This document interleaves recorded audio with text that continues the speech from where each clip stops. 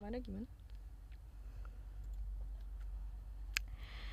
Selamat siang dan selamat bergabung di workshop jurnalis yang dipersembahkan oleh Environmental Justice Foundation atau IJF yang didukung oleh Environmental Reporting Collective atau ERC serta Tempo Institute. Workshop ini juga didukung dengan baik oleh Bureau of International Narcotics and Law Enforcement Affairs of the US Embassy Jakarta. Workshop yang dihadirkan oleh IJF ini terdiri dari lima seri workshop online yang mengupas berita dan liputan seputar kejahatan lingkungan di Indonesia dan juga wilayah sekitarnya. Dan nantinya secara total akan ada empat jurnalis terpilih yang masing-masing akan mendapatkan story grant untuk melakukan investigasi lapang terhadap kejahatan lingkungan di Indonesia. Dan teman-teman jurnalis juga kami persilahkan untuk mengikuti sesi workshop ini sebanyak-banyaknya dan Anda bisa memperoleh satu kali kesempatan untuk ikut pitching ide liputan sesuai dengan pilihan Anda sendiri.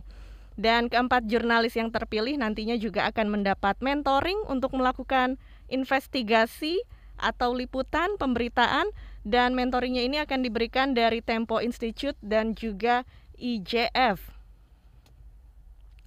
Dan saat ini teman-teman semua sedang mengikuti works, workshop seri kedua yang mengangkat tema IUUF atau Illegal, Unreported, and Unregulated Fishing dan rantai pasok produk hiu dan pari. Workshop ini dibagi menjadi tiga sesi kegiatan. Sesi pertama adalah seputar peningkatan pemahaman dan penggalian materi. Sesi kedua merupakan sesi pembekalan dan sesi ketiga adalah presentasi dan penilaian hasil tulisan. Dan workshop ini juga akan berlangsung selama sekitar 2 jam ke depan sampai pukul 16 waktu Indonesia Barat. Dan kami mengucapkan terima kasih banyak kepada rekan-rekan jurnalis yang sudah hadir pada workshop siang hari ini. Perkenalkan saya Ines Nirmala dari KBR dan workshop ini secara online juga bisa disaksikan lewat YouTube di channel Berita KBR. Selamat siang juga bagi Anda yang mengikuti webinar ini lewat YouTube ya. Dan selamat siang untuk teman-teman yang sudah hadir lewat Zoom. Baik, kita akan langsung saja masuk ke materi yang akan disampaikan oleh para pembicara kita. Ada tiga orang pemateri atau pembicara yang sudah hadir di workshop siang hari ini. Tapi sebelumnya saya ingin membicarakan dulu sedikit tentang investigasi yang dilakukan oleh IJF. Nah, berdasarkan in investigasi yang dilakukan IJF, kapal penangkap ikan yang menangkap tuna dan juga spesies tetunaan lainnya mereka ini juga terlibat dalam penangkapan hiu baik sebagai tam tangkapan sampingan atau bycatch atau juga memang mereka terlibat uh, untuk menangkap hiu sebagai target sasaran mereka. Laporan IJF selama tiga tahun terakhir telah mendokumentasikan perburuan hiu yang siripnya diambil dalam keadaan hidup dan kemudian sisa tubuhnya dikembalikan ke laut. Dan legalitas penangkapan hiu ini juga bervariasi ya berdasarkan bendera kapal atau Regional Fishery Management Organization yang berlaku pada kapal penangkap ikan tersebut. Dan memang di banyak negara perburuan hiu ini adalah hal yang ilegal. Nah, membicarakan tentang Indonesia sendiri yang terletak dalam lokasi yang disebut sebagai segitiga terumbu karang, wilayah Indonesia ini sangat kaya akan fauna laut, khususnya berbagai jenis spesies hiu ada sebanyak 117 spesies hiu dan 101 spesies pari manta telah diidentifikasi di perairan Indonesia. Tapi berdasarkan data dari FAO atau Organisasi Pangan dan Pertanian, Indonesia juga adalah negara penangkap terbesar hiu dan diperkirakan sekitar 40% hiu terancam punah dan membuat Indonesia sebagai negara dengan resiko kepunahan tertinggi di dunia. Baiklah kita akan membahas lebih dalam seputar tema kita pada hari ini ya yang membahas seputar IUUF illegal unreported and unregulated fishing serta rantai pasok produk hiu dan pari. Sesi workshop ini juga menghadirkan tiga pembicara dari tiga organisasi berbeda yang terkenal dengan keahlian dan pengalaman investigasi mereka dalam memerangi IUUF dan perdagangan ilegal produk hiu dan pari di seluruh dunia. Langsung saja kita sapa ketiga pembicara kita. Yang pertama ada kita sapa yang jauh dulu nih ya, yang bergabung dari Austria, yaitu Simon Niedermüller, Regional Project Manager at WWF.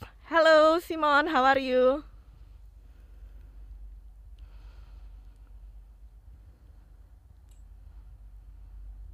Hello, good afternoon, everyone. My pleasure to be here. Yes, we are ready and looking forward for your presentation. Oke, selain itu, narasumber kita berikutnya adalah Agus Mawan dari Mongabai, Indonesia. Selamat siang, Mas Agus. Siang, siang. Apa Halo, kabar, Mas siang. Agus? Baik-baik, ya, ya. Iya, kita nanti juga akan mendengar dan berbagi pengalaman dengan Mas Agus ya. Senang sekali ya, bisa bergabung di sini. Iya. Selanjutnya narasumber kita adalah Benaya Simeon, Shark Specialist, Fisheries Resource Center of Indonesia IUCN SSG member. Halo, Benaya, apa kabar? Selamat siang, terima kasih sudah diundang. Kabar baik tapi grogi. Waduh, pastinya banyak hal yang bisa dibagikan oleh Benaya kepada teman-teman jurnalis di sini ya. Nah, sebelum kita masuk ke sesi pemaparan, saya juga mau mengingatkan dulu kepada teman-teman tentang peraturan workshop ini. Kami memohon kepada peserta workshop untuk mengisi link absensi dan juga pretest yang sudah dibagikan ya. Teman-teman sudah mendapatkan link absensi dan link absensinya ini ada di kolom chat serta sebelum workshop ini juga sudah diberikan link pretest mohon diisi ya. Serta um, peraturan workshop lainnya juga bisa dibaca di layar Anda jika Anda telah mendaftar, harap hadiri semua sesi sebagai bagian dari kegiatan workshop ini. Dan juga kami minta untuk menghormati setiap pendapat yang disampaikan dalam workshop. Saat Anda bergabung di dalam workshop, pastikan untuk uh, menonaktifkan mikrofon dan kamera, kecuali pada saat nanti sesi diskusi ya. Mohon diaktifkan mikrofonnya untuk bertanya atau berdiskusi langsung dengan pembicara kita. Dan pastikan nama Anda seperti yang tertera pada daftar peserta dan juga dengan jelas menyebutkan nama dan organisasi. Ya, jadi eh, mohon namanya di Zoom ini diganti menjadi nama Anda, kemudian nama dari media Anda. Dan jika memiliki pertanyaan atau ingin berkomentar, silakan gunakan fungsi raise hand atau bisa diketikkan juga pertanyaannya di kolom chat dan kita nanti akan berikan sesi Q&A juga untuk teman-teman. Dan jika diundang oleh moderator untuk mengajukan pertanyaan atau berkomentar, maka silakan saja langsung aktifkan kamera dan mikrofon Anda. Baik, sebelum kita masuk ke sesi pemaparan dari para narasumber, sekarang kita berikan kesempatan untuk foto bersama terlebih dahulu ya. Baik, teman-teman. Silahkan diaktifkan terlebih dahulu kameranya karena kita mau mengajak foto bersama pada permulaan sesi workshop ini. Oke, silahkan diaktifkan kameranya. Ya, baik. Terima kasih yang sudah mengaktifkan kamera. Kita foto 3 2 1. Ya, sudah. Siap. Nah, Selanjutnya kita akan mengawali sesi workshop ini dengan mendengar uh, kata sambutan dari Deputy Director and SEA Project Manager AJF yaitu Dominic Thompson. Kepada Dominic kami persilahkan untuk memberikan welcome remark bagi workshop siang ini. Thank you very much, Ines, and thank you, KBR, for hosting today and for the introduction to this session. So my name is Dominic Thompson, and I'm the Deputy Director and Project Manager for the Environmental Justice Foundation based in Bangkok, um, managing the Thailand and Indonesia campaigns. Um, and I'd also just like to say thank you again to our speakers today, Simone, Agus, and Benaya, for joining us today. It's a pleasure to meet you. Thank you very much for being here. So yes, welcome to the second workshop in our exciting series on journalist capacity building. So this series, as Ines has explained, um, is a really exciting new project for, from EJF. And it's all about trying to enhance journalist capacity to report on environmental crimes. And this project is funded by the Bureau of International Narcotics and Law Enforcement Affairs of the US Embassy in Jakarta. So thank you very much for their support. Um, also like to uh, say thank you very much for our partners as well, the Environmental Reporting Collective, KBR and Tempo Institute for all of their support um, in making these workshops happen um, and also for planning and executing the field investigations that will make up part of this project as well. So if you were here for our first set of workshops uh, a couple of months ago, you will remember that we focused on the issue of illegal, unreported and unregulated fishing um, and also the issue of transparency in tackling um, in this very uh, endemic problem. Um, my colleague Max Schmidt, for example, spoke about how a lot of um, illegal fishing operators will exploit these gaps in transparency in fishing to um, escape um, authorities, escape enforcement, um, and to smuggle illegally caught seafood um, and other charismatic species, such as sharks, um, past the authorities and make sure that they don't get caught. So we also talked about um, how environmental crimes such as illegal fishing are very closely connected with human rights issues. And so I think that now this workshop will build on what we learned in the first set of um, workshop um, sessions that we had a couple of months ago, um, and now add on a new component which is this element of focusing in on sharks, how they are caught, how those products are smuggled um, and traded, and where they are actually consumed um, across the world. Um, I won't go into little, too much of the detail, um, as I know that our speakers are much more expert on this subject than me. Um, but just in our own experience from talking to crews from Taiwanese, Chinese, and Korean fishing vessels all across the globe, um, we have seen the uh, scale of the shark um, catching, uh, finning, um, and then disposal of shark bodies at sea. So we've got we've got photo evidence, we've even got video evidence showing this practice being conducted um, at sea, and then these products are often um, traded, smuggled, and then uh, sent to countries across East Asia for consumption. Um, and Indonesia is in fact one of the largest fishing nations for sharks. And so it's really contributing to this global trade of shark and ray products.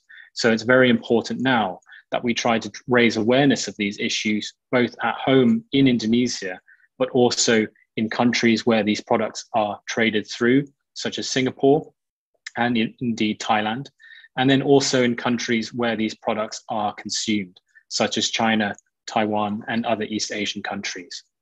So thank you again for all being here. And please do make the most of these sessions this week by making sure that you stick to each of the sessions that we have available today and tomorrow. We've got a great lineup of speakers uh, both today and tomorrow, so please do stick around for both sessions. Um, and I'd also say that please take this opportunity to ask questions um, because the experts that we have today will uh, truly be able to answer any of your questions you have uh, related to either illegal fishing or the uh, trade of shark and ray products. I'll, I'll stop there and hand it back over to Ines to kick off the rest of the workshop. Thank you everyone again for being here. Ya, terima kasih Dominic Thompson, Deputy Director dan SIE Project Manager Environmental Justice Foundation sudah memberikan kata sambutan untuk kita semua. Nah, teman-teman, bagi Anda yang ingin mendengarkan dalam bahasa Indonesia, silahkan diaktifkan fitur interpretation. Di situ Anda bisa pilih bahasa Indonesia untuk mendengarkan seluruh workshop ini yang sudah diterjemahkan ke dalam bahasa Indonesia. Nah, sekarang kita langsung saja melanjutkan ke sesi pemaparan dari para pembicara kita. Ada tiga orang pembicara di sini yang akan masing-masing diberikan waktu sekitar 15 menit untuk menyampaikan pemaparan mereka. Dan yang pertama, sesi pemaparan akan diberikan kepada Simon Niedermuller, Regional Project Manager di WWF. Nah, langsung saja ya kita dengarkan dan kita beri kesempatan untuk menyampaikan materi kepada Simon Niedermüller.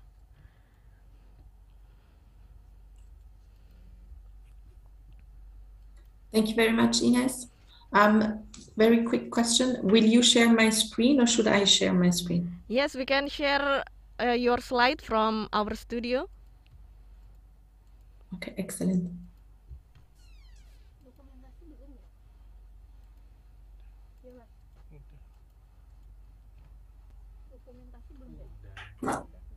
Okay, thank you very much. First of all, I would like to say thank you for the invitation. It is a real pleasure to be here. Thank you, KBR, for the organization. Thank you, EGF, for the invite. Um, my name is uh, Simon Niedermüller. I am an Austrian national, but I'm working for uh, WWF Mediterranean as a regional project manager. Um, we have very recently in the summer launched a report on the Shark and Ray Meat Network. Um, next slide, please.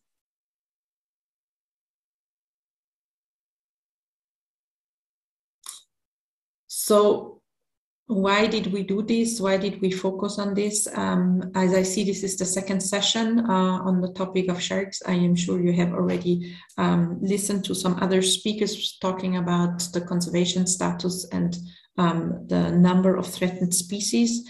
Um, actually, the numbers that I included in this slide um, have already worsened since I have prepared this presentation. I don't know if you have seen um, the new publication last, yesterday. So we are now at one third of uh, threatened uh, species. Um, and a figure that is doubled since 2014, and there is the number of species that is endangered or critically endangered that has tripled. Um, this also means that some of the population have declined by more than 95%. So this is mainly due to overfishing, which is the biggest threat of species. Um, we have started to look into meat trade because some of the countries that we are working with in the Mediterranean are actually important markets but we wanted to look at this globally since we're talking about um, very global trade. All kind of seafood um, is part of a part of the most traded uh, commodity, as seafood trade networks are typically very complex um, and very diverse. So we wanted to understand uh, what is actually happening uh, with shark meat. Next slide, please. So, as I said, it's really uh, time to act. Uh, we tried to um, include here a little graph to showing that we are talking about very, very ancient species that our oceans depend on. So, it's very important to have uh, sharks and rays who have multiple roles in the environment, some of them as top predators, but also very um, different roles, such as, for example, uh, mixing uh, the nutrients that are in the water column, acting as intermediate actors in the food chain, uh, acting as um, species that structure the environment, such as uh, sand habitats.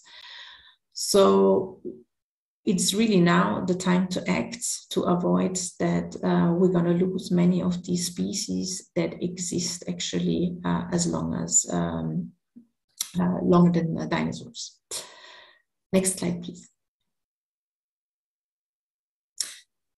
So one of the first uh, results that we wanted to uh, see is how big is actually the overall trade value. So this is only the yes, for the interpreters, if I am too uh, fast, please let me know so that I can try to slow down the speed of speaking. And what we uh, saw is that the overall value of the meat trade is actually bigger uh, than the fin trade, which uh, came as a first surprise as there is very often the narrative of uh, shark fin trade that is dominant uh, in media. And the other uh, results was the really high complexity of the network. So we already expected a complex network, but it was even more complex and opaque than we expected it to be. And you can see here the really high number of connections between different countries on this right side mandala kind of graph. You can see on the bottom the red circle. This goes around Indonesia. You see that Indonesia is one of the countries that is really at the center of this uh, international trade. Next slide, please.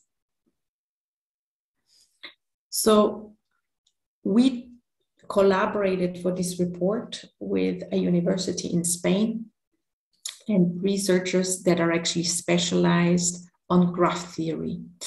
Graph theory is um, a mathematical study of networks and how elements interact in a network.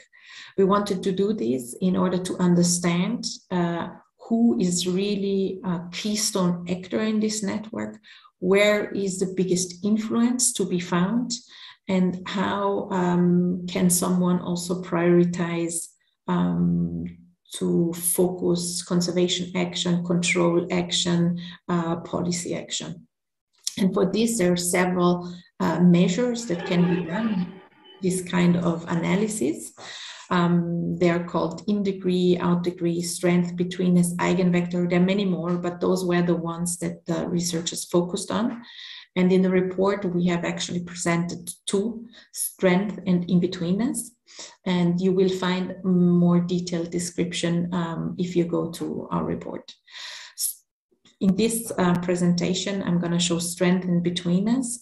So strength is mainly the number of connections. So the more connections you have, the higher the strength of a country will be. And the second one is betweenness. And betweenness shows how much you are a bottleneck, for example, or how much you're a trade funnel for other countries.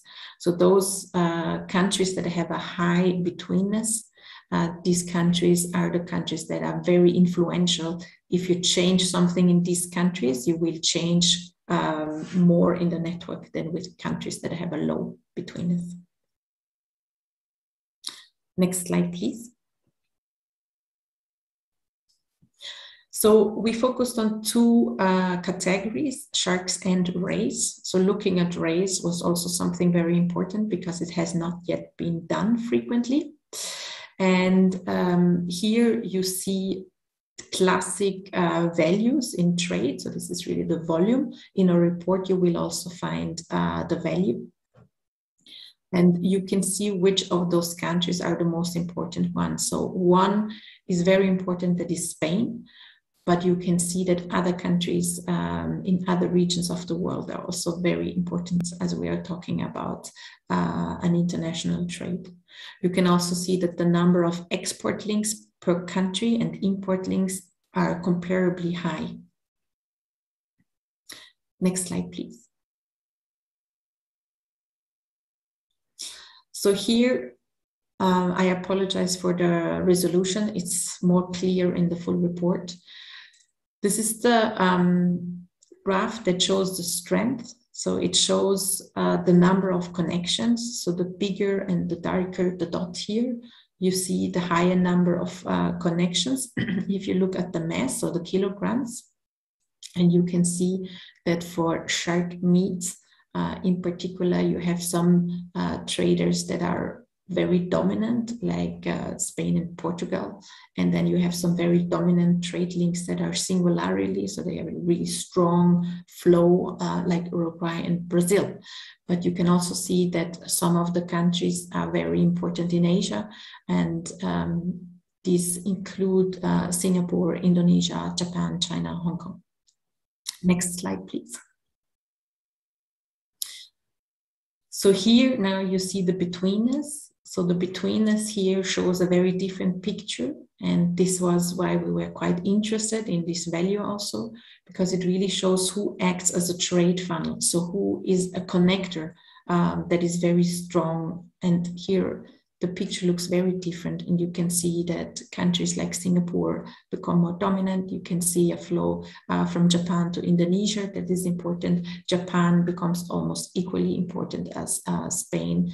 Um, and uh, China is also very important. Next slide, please. So for race, the um, picture is quite different. Uh, you have some really strong exporters that are much more strong in comparison to other countries like Argentina. And then you have very strong importers like Korea, which is by far the most important importer. And you will see that in the top uh, traders here, Indonesia becomes even more important in meat than um, uh, for sharks. So it's number four in exporters, but uh, it also shows one of the most important trade flows, which is between Indonesia and Malaysia. Next slide, please. So here, um, again, you see first the strength. So this has to do with the number of connections and the volume that is being traded. And you can see this very, very strong uh, trade link between Argentina and Korea. Uh, but you can also see some very interesting pattern that you couldn't see with a normal analysis. And this is between US and Korea. Next slide, please. And here, very surprisingly, you see that for Ray, how important Indonesia becomes.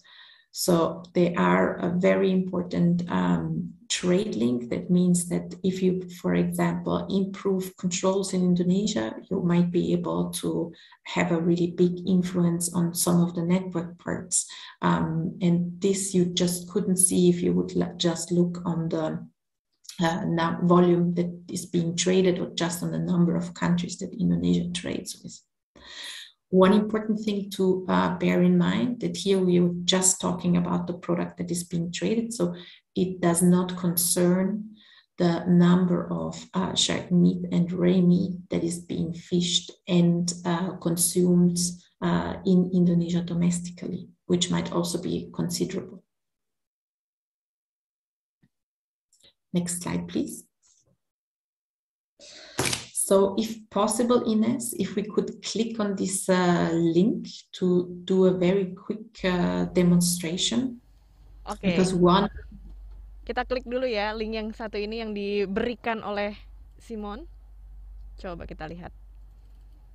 Oke. Okay. So what is available is a Shiny app application that actually would allow you to. Um, uh, we try to to enter the website from your link. We try from uh, our Perfect. producer is trying to jump to the link. Excellent.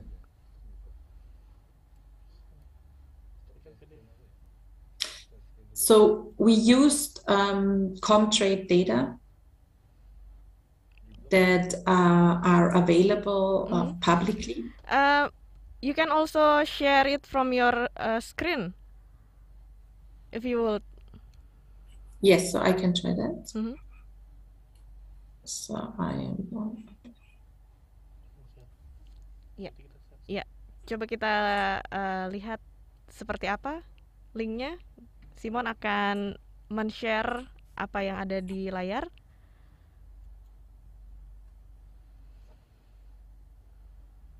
Can you see the screen? Yes. So this is the Shiny app application. Under this uh, link, it is available to you. Uh, it has a configuration uh, panel which actually allows you to select the category race or sharks. It allows you to select mass or currency. And then it allows you to choose a date range from countries, uh, from um, number of, from the years, but then also uh, the measure here. So you have these different measures, betweenness and strength, and then you have the different trade categories. Here you will also find fins. So this is important if you're working on uh, the topic of shark fin trade. You will find all these categories and you can select them. And the app will show you the results and it will also show you the top exporters and the flows between importers. You also have a README here that gives you the definition of this kind of analysis. Uh, it gives you country names and ISO codes and we are also very happy uh, to receive any kind of feedback from you uh, regarding this application um, in order to improve it in the future. So I'm going to stop sharing to just go back to my last slide. Oke, okay. kami akan lanjutkan untuk share screen dari studio ya.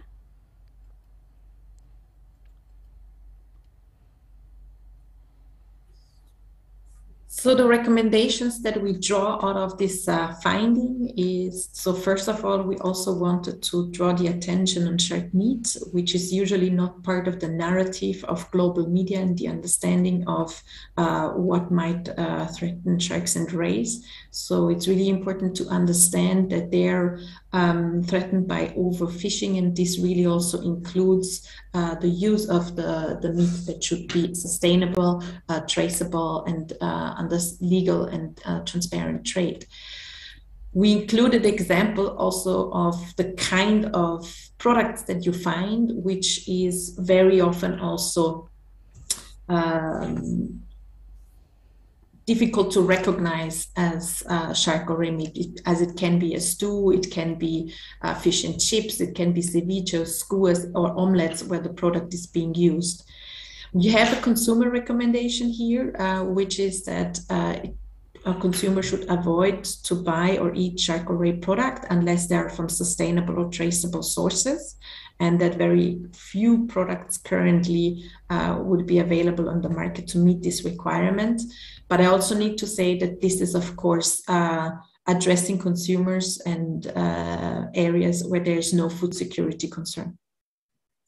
We have some recommendations uh, in more detail in the report on states and territories uh, to support recovery plans for sharks and rays, uh, to support legislation and implement this legislation to harmonize lending, market, and trade categories. It's a very big issue for transparency, and this also very often hinders controls that the, what is landed as one category is not marketed or traded as another category. And so uh, it's very difficult to have uh, traceability.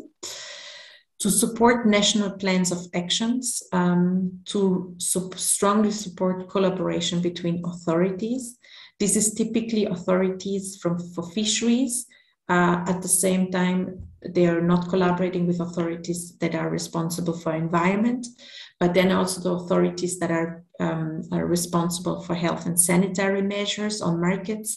And if there is a lack of collaboration, uh, it becomes uh, very often a waste of uh, the very poor available resources for controls.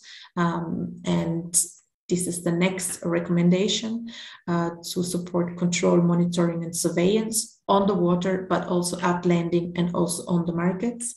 Uh, to support more detailed tariff codes.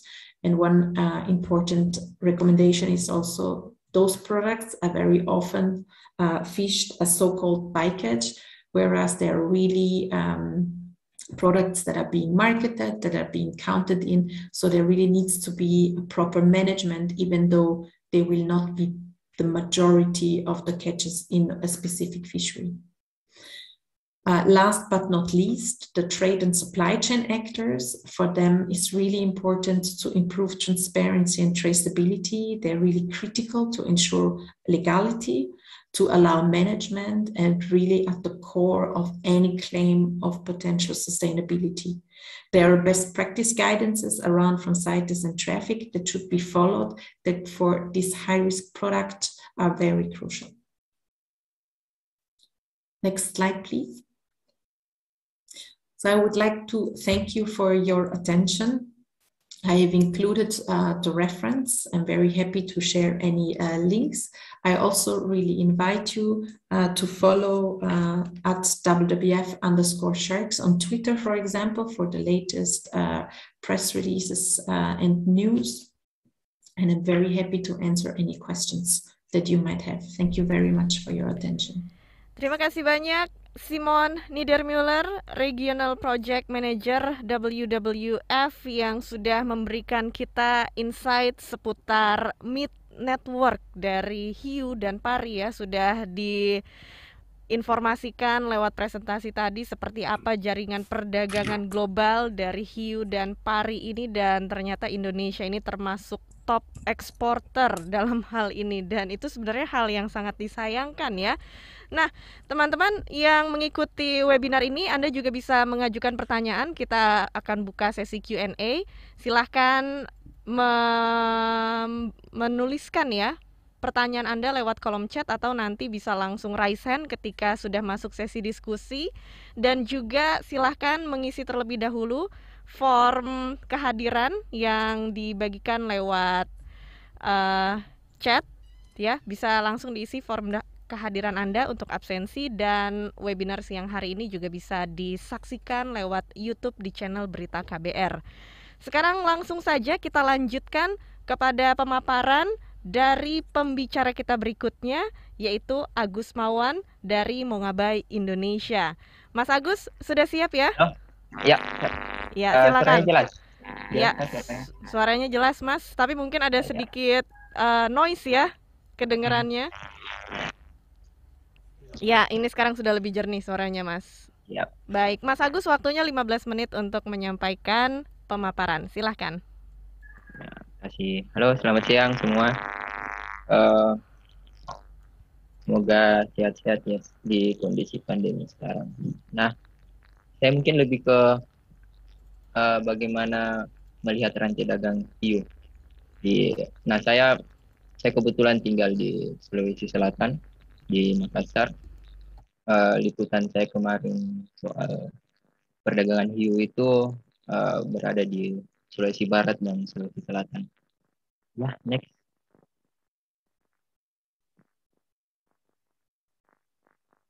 Lagi-lagi.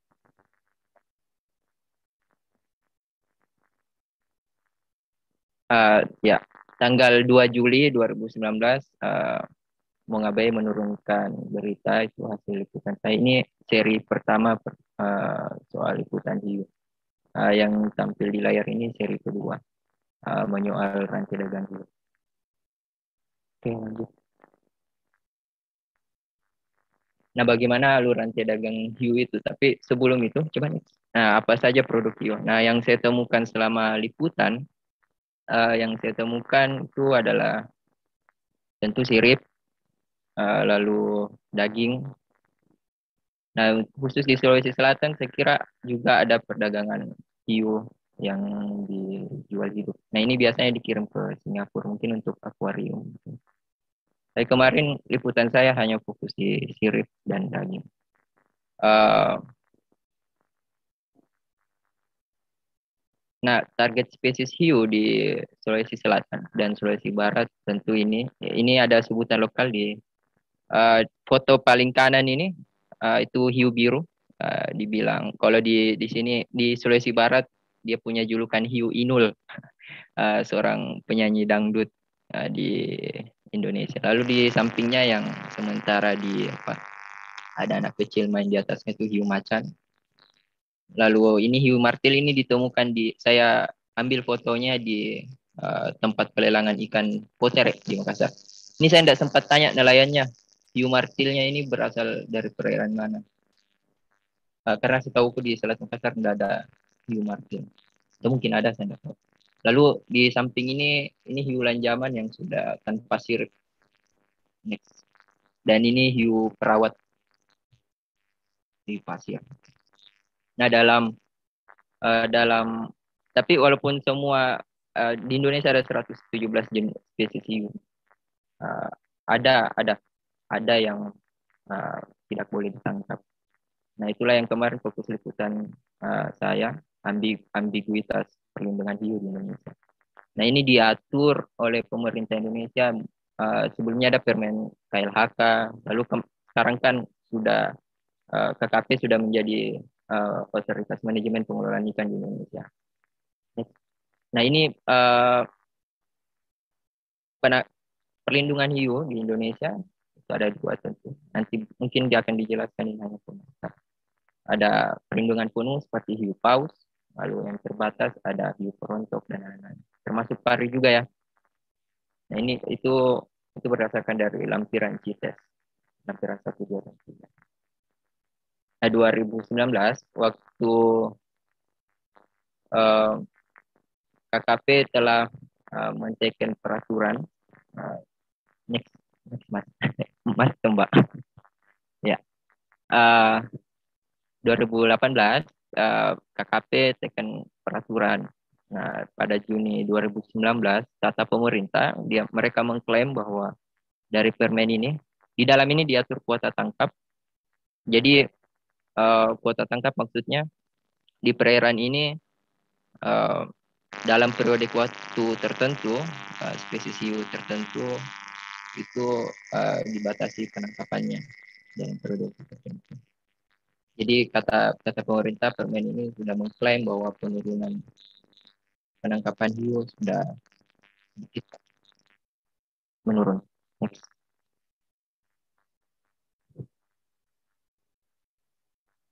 Uh, ada piramida industri hiu. Uh, saya melihat perdagangan perdagangan hiu ini ada, seperti piramida. Di dasar piramida itu ada nelayan, tentu nelayan sampingan atau beket. Ada juga nelayan yang memang khusus melaut hanya untuk memancing hiu. Di atas nelayan ada pengumpul kecil, ini biasa bermain di lokal, di regional, lalu ada pengumpul besar, ini biasa bermain nasional, lalu paling atas adalah pengusaha restoran ataupun produsen-produsen kosmetik atau farmasi yang lain. Nah, jika dilihat jika dilihat dari piramida ini, coba nih. Ah, ya. Jika dilihat dari piramida ini, uh, dari bawah ke atas ini keuntungannya semakin berlipat-lipat. Tapi ketika dilihat dari atas ke bawah, uh, peran mereka semakin penting. Uh, jadi tanpa nelayan di atas uh, justru runtuh. Tapi tanpa konsumen juga pasti mereka ini tidak ada. Ini. Nah, bagaimana alurnya? Jadi ini seperti seperti mendongeng.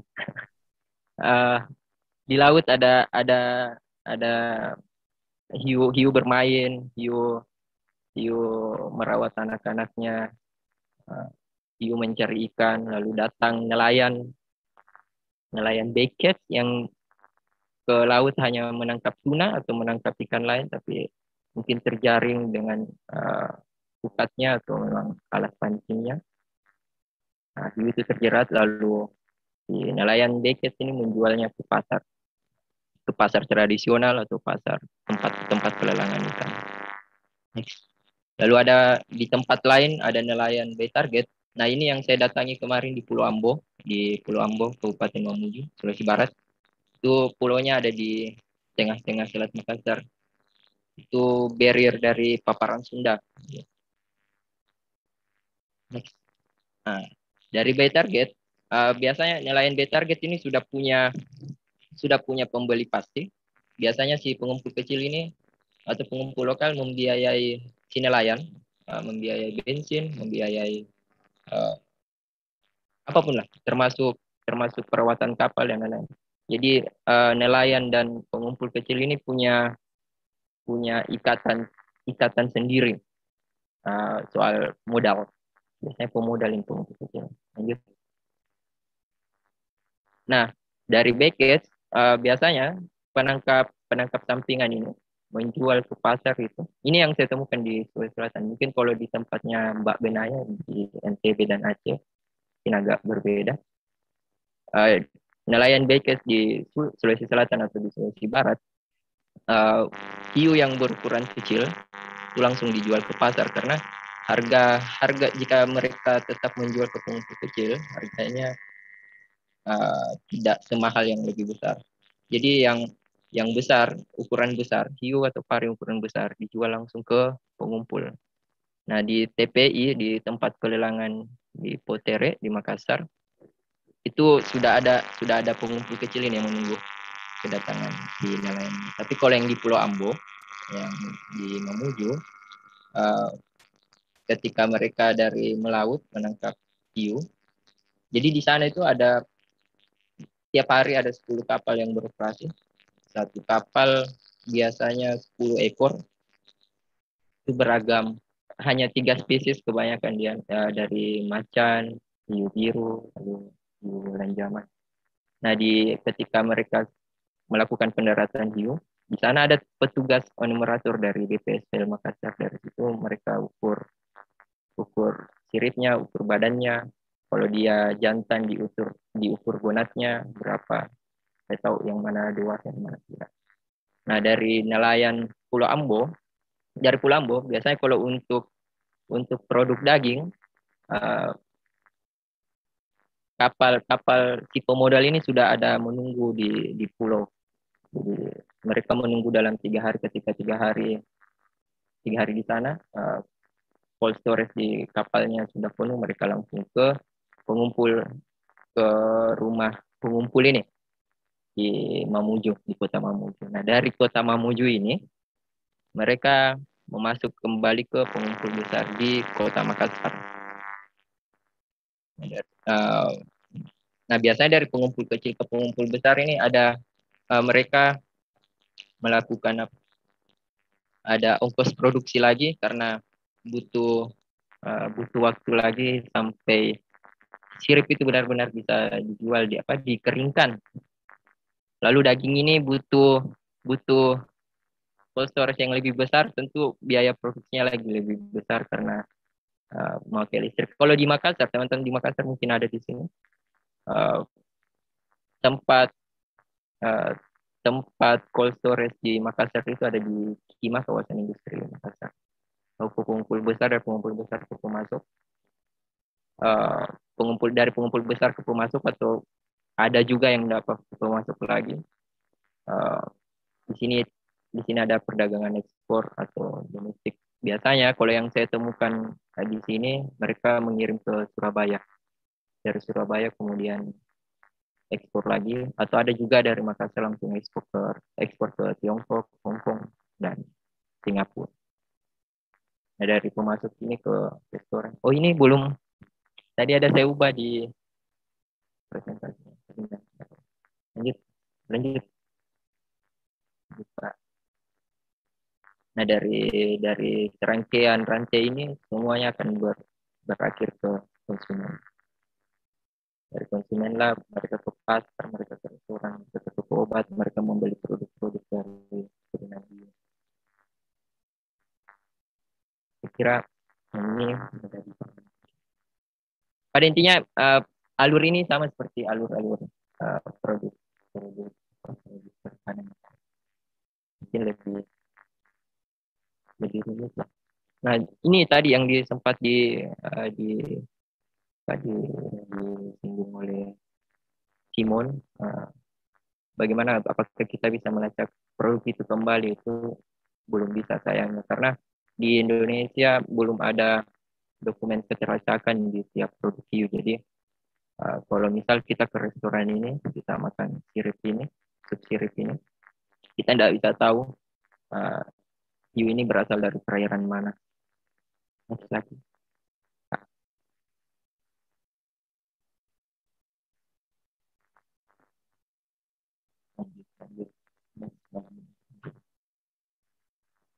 Lagi.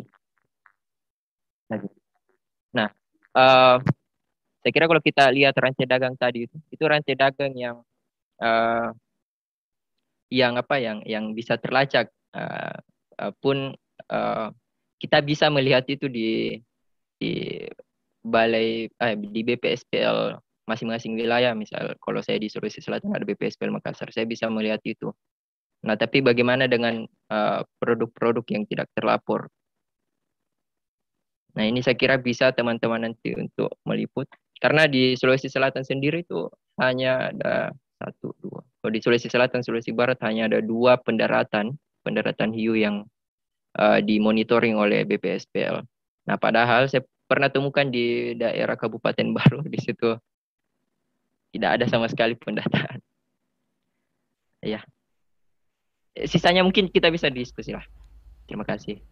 Baik, terima kasih Mas Agus Mawan, jurnalis dari Mongabai Indonesia yang sudah memberikan materi dan juga ini merupakan pengalaman dari Mas Agus ya yang pernah meliput seputar perlindungan hiu di Indonesia. Ya. Khususnya di wilayah Sulawesi Selatan dan Sulawesi Barat ya Mas ya. Iya, iya. Iya, tadi juga sudah diceritakan seputar rantai dagang, alurnya seperti apa dalam perdagangan hiu ini. Nanti teman-teman juga bisa berdiskusi langsung dengan Mas Agus Mawan di sesi tanya jawab.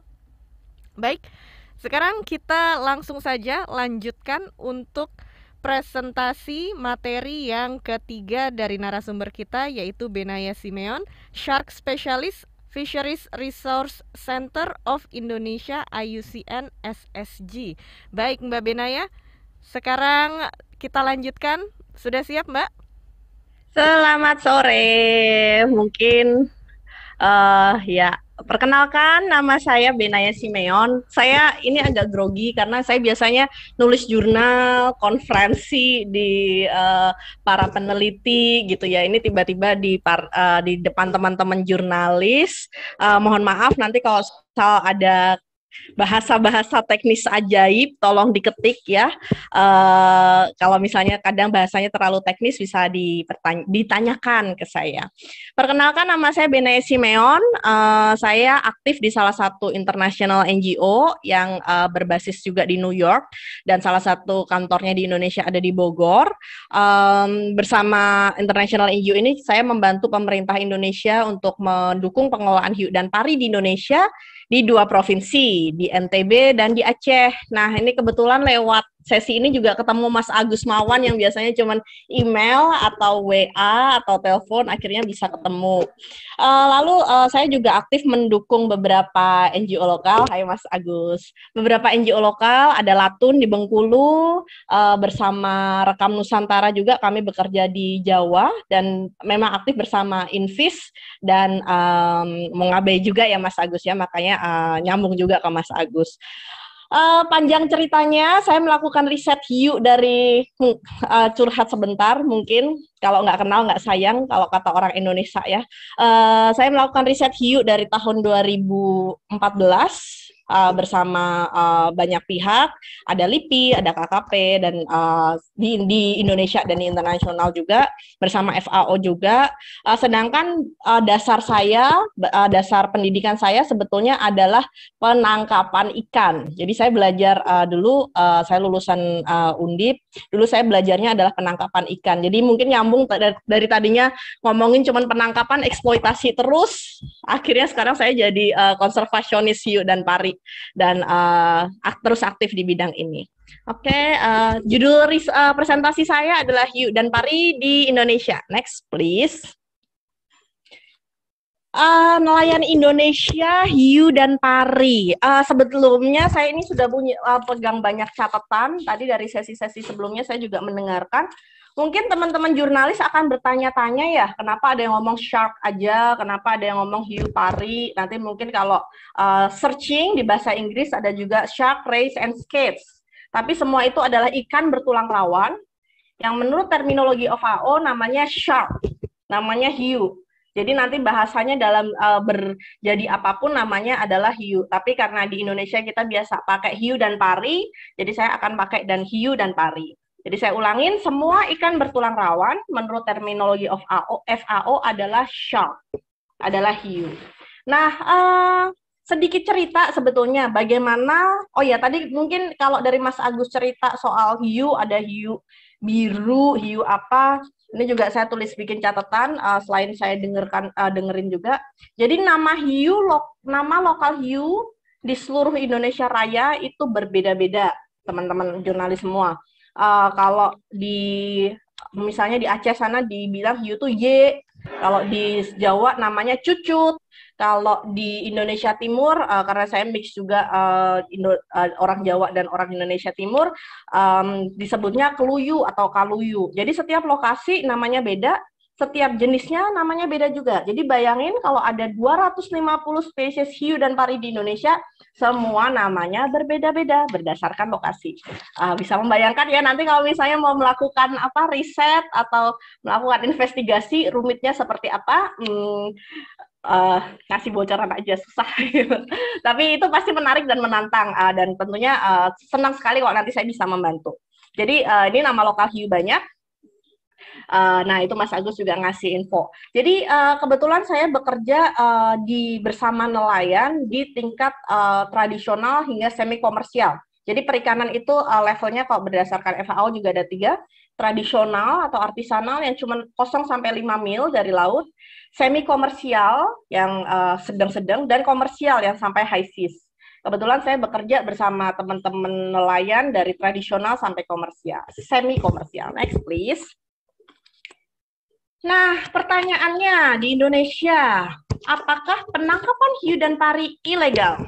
Sebetulnya penangkapan hiu dan pari di Indonesia ini cukup jadi uh, pro kontra karena yang ilegal berdasarkan regulasi hanya beberapa jenis, yaitu hiu paus, dua jenis parimanta. Jadi uh, saya revisi ya Mbak uh, Mbak MC uh, jenis mantanya nggak nggak 100 uh, jenis, tetapi jenis parimanta hanya dua.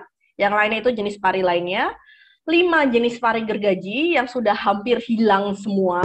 Tinggal dua jenis yang dalam uh, tiga tahun terakhir ada uh, laporan dari jurnalis hanya tiga, hanya dua jenis dari lima jenis yang ditemukan, jadi kemungkinan tiganya sudah hampir hilang dan semua jenis pari sungai itu yang secara hukum totally totally uh, protected atau betul-betul semua dilindungi. Sedangkan sisanya itu ada yang dilarang ekspor, ada yang uh, dilarang tangkap uh, dilarang finning, harus didaratkan utuh dan lain-lain. Jadi kalau sebetulnya berdasarkan beberapa uh, jenis itu tidak semua dilindungi, tetapi semuanya ada beberapa yang perlindungannya sementara. Nah, uh, mungkin karena saya juga bekerja uh, mendukung KKP, membantu KKP juga dan membantu uh, LIPI untuk melakukan uh, riset dan pengelolaan hiu dan pari. Uh, saya uh, di sini saya juga uh, melalui kesempatan ini saya menjelaskan juga. Jadi hanya jenis-jenis hiu itu yang ada di layar yang dilindungi penuh, sisanya tidak. Uh, lalu yang sampai kiri itu adalah uh, alur regulasi hiu yang ada di Indonesia dari 99 mungkin dari per PP di uh, eh, PP dan beberapa regulasi di KLHK hiu dan pari mulai dilindungi mulai dari pari gergaji dan selanjutnya selanjutnya selanjutnya sampai 2016 ada beberapa jenis hiu yang masuk appendix 2 CITES. Nah, mungkin teman-teman jurnalis nggak ngerti CITES itu apa, IUCN itu apa. Uh, mungkin tadi juga ini melengkapi uh, presentasi dari uh, Simon ya. Uh, IUCN itu, CITES itu apa? Jadi IUCN itu adalah kelompok peneliti yang voluntary bergabung bersama lembaga riset uh, yang tugasnya mengkaji populasi biota baik hewan maupun tanaman secara global itu IUCN. Jadi uh, saya salah satu peneliti yang voluntary bergabung. Uh, dan dari para peneliti ini kita mengkaji status populasi A, B, C, D dari uh, dari masih banyak sampai akhirnya extinct in the wild. Nanti bisa dicari di websitenya IUCN. Lalu dari uh, hasil riset IUCN ini nanti akan keluar salah satunya kalau misalnya dia memang critically endangered atau terancam punah atau kritis, nanti beberapa negara akan bikin proposal ke namanya CITES. CITES adalah uh, kumpulan negara yang duduk, konferensi antar negara yang duduk untuk mengelola perdagangan biota internasional. Jadi kalau satu spesies masuk ke dalam appendicitis, dia otom uh, appendix uh, satu dia harus totally protected di semua negara anggota CITES. Uh, appendix 2 dia bisa diperdagangkan tetapi dengan persyaratan yang ketat karena dia sudah dianggap uh, juga hampir terancam punah. Nanti mungkin bisa di searching ya soal IUCN dan CITES itu uh, intro saja. Uh, next please. Uh, Kak operator, Mbak Mas. Terima kasih. Nah, Uh, ini mena uh, sedikit review juga tentang sejarah Indonesia. Tadi mungkin banyak yang di, dibilang ya, kita adalah negara penangkap hiu terbesar di dunia. Entah harus bangga atau sedih, tetapi faktanya itu sudah terjadi di kita sejak tahun 90-an. Kalau kita mau ngomong tahun 1940-an, uh, ini adalah um, ini adalah mungkin generasi di Indonesia yang terakhir yang masih bisa diwawancara ya dari beberapa riset kami itu um, kalau kita tanya oma-oma, opa-opa, kakek nenek tahun 1940 itu hiu umumnya dianggap sama seperti ikan lain, dikonsumsi aja di beberapa lokasi. Tetapi tahun 70, tahun 80 ada satu gerakan internasional, nggak tahu kenapa, pokoknya seluruh dunia harga hiu itu naik. Sehingga mulailah lahir di Indonesia perikanan target hiu dan pari. Ada beberapa lokasi yang memang perikanan hiu dan parinya lahir dari masyarakat lokal. Jadi orang lokal yang melakukan uh, penangkapan, uh, misalnya di uh, bagi beberapa pantai barat Sumatera itu ada beberapa masyarakat lokal yang mentargetkan hiu. Tetapi ada juga suku yang memang rajin keliling Indonesia untuk melaut dan menangkap dan uh, nih mbak ya. Oh, saya putus-putus. Oke. Okay. Uh, ada beberapa suku, uh, misalnya kayak suku Bajo, suku Bugis, mungkin uh, di daerahnya Mas Agus ya dia memang sukanya uh, nomad atau berkelana gitu di laut-laut. Dan oh mana yang jadi duit itu yang dilakukan. Jadinya tahun 80-an sampai tahun 90-an kalau teman-teman mungkin ke banyak lokasi di pulau-pulau di Indonesia akan banyak menemukan suku Bugis dan suku Bajo yang menangkap hiu sebagai target. Dan uh, tahun 90-an jadi itu kayak se-Indonesia Raya tahun 80-an sampai tahun 90-an itu mulai ada target nggak hanya se-Indonesia kalau mau lihat sejarahnya mungkin banyak di lokasi di seluruh dunia yang tahun 80-an itu mulai jadi target. Tahun 90-an kita mengalami krisis ekonomi, harga sirip hiu kan dolar nih.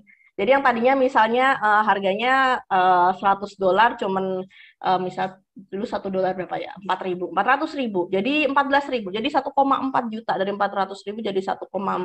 Makin banyaklah orang berlomba-lomba menangkap hiu dari tahun 90 sampai sekarang.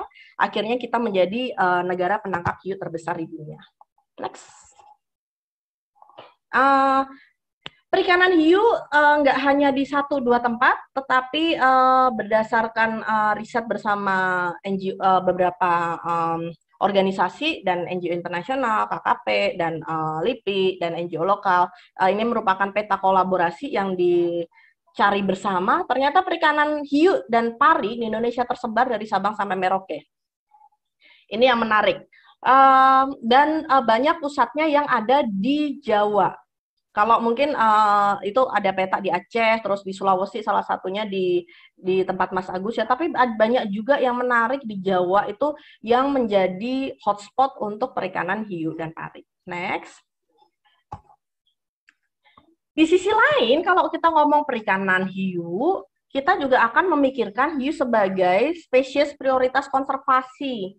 Kenapa kita harus memikirkan hiu? Ini yang uh, ini yang menjadi uh, yang belum memang belum diketahui oleh banyak nelayan kita. Jumlah anakan hiu itu sedikit, teman-teman jurnalis. Uh, kalau ikan-ikan lain anaknya bisa ratusan ribu, anakan hiu itu cuma dua. Ada yang satu, ada yang dua, ada yang cuma beberapa puluh aja. Terus ada yang juga perlu spesies, ada spesies yang perlu waktu lama untuk mencapai dewa usia dewasa ada beberapa spesies yang mencapai umur lebih dari 30 tahun untuk dia bisa mating atau berkembang biak. Sedangkan kita manusia cuma beberapa belas tahun ya, hiu bisa sampai lebih dari 30 tahun. Terus siklus reproduksi yang panjang. Ada hiu yang hamilnya dia sampai 2 tahun. Kalau gajah lahirin uh, hamilnya cuma satu tahun lebih sedikit, ada beberapa jenis hiu yang dia hamilnya bisa sampai 2 tahun. Terus uh, hiu itu memiliki peranan penting untuk mengatur piramida makanan. Jadi kalau uh, kita ngomong science, ada yang namanya piramida makanan, yang paling bawah tanaman dan lain-lain, uh, produsen dan lain-lain, terus ada top predator. Nah, si hiu ini dia dia mengatur banyak layer. Jadi dia dari yang lahir kecil, dia langsung mengatur, uh, dia langsung bukan mengatur, berperan penting di satu layer piramida makanan dan sampai dia menjadi sangat besar, ada beberapa jenis yang ukurannya sampai 3 meter, 5 meter, 7 meter, dia menjadi top predator di puncak piramida makanan.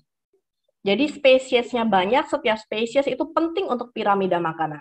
Semoga nggak terlalu teknis ya bahasanya. Lalu kita juga menemukan uh, ternyata beberapa jenis hiu dan pari tidak lagi ditemukan di perairan Indonesia. Taunya dari mana? Dari beberapa jenis buku atau riset yang bahkan sudah dilakukan di zaman uh, Hindia Belanda dulu. Sebelum kita jadi Indonesia, ada beberapa um, uh, artikel atau tulisan dari ilmuwan yang uh, men menyebutkan beberapa jenis spesies. Ternyata, tapi sekarang spesies itu sudah nggak bisa kami temukan lagi. Jadi sudah ada indikasi beberapa jenis hiu dan pari sudah tidak ada. Oh, nggak dengar ya? Kedengeran Halo? Mbak, jelas kedengeran suaranya Mbak. Karena ada yang tidak bisa dengar. Oh iya tadi ya. Um, oh. Mungkin kalau yang tidak bisa mendengar suara dari narasumber bisa dikembalikan lagi ke uh, bahasa Indonesia atau di off kan aja interpreternya. Oh, yang lain banyak yang dengar. Baik. Iya. Kalau tapi Baik. jadi bagus. Jadi saya jadi slow down. Tadi ngomongnya udah cepet. Baik. Oke. Okay. Silakan Mbak Benaya dilanjutkan presentasinya. Okay, next, please. Uh, nah, ini beberapa jenis hiu dan pari. Ini uh, pohon taksonominya ya dari uh, Shark of the World dan Race of the World. Saya uh, bantu buatkan. Uh, beberapa yang merah ini sudah hilang. Dan sisanya yang lain yang ada beberapa race atau pari itu ordo itu adalah evolusi terakhir mereka itu beratus-ratus juta tahun yang lalu. Bisa dibilang hiu kalau uh, dijelas dengernya. Oke, okay, terima kasih. Uh, bisa dibilang hiu dan pari itu evolusinya udah beratus-ratus juta tahun yang lalu. Uh, dan itu yang uh, mungkin mirip ya hiu sama dinosaurus gitu. Kalau gitu, mungkin beberapa jenis lain berevolusi tidak setua hiu. Next please. Nah, um, ini tadi mungkin diulang-ulang juga kalau berdasarkan ini uh, sudah beberapa uh, sudah nambah ya tidak hanya 31% tapi sudah hampir 40% sebetulnya dari jenis hiu dan pari berdasarkan IUCN Red List itu sudah terancam kepunahan. Next please.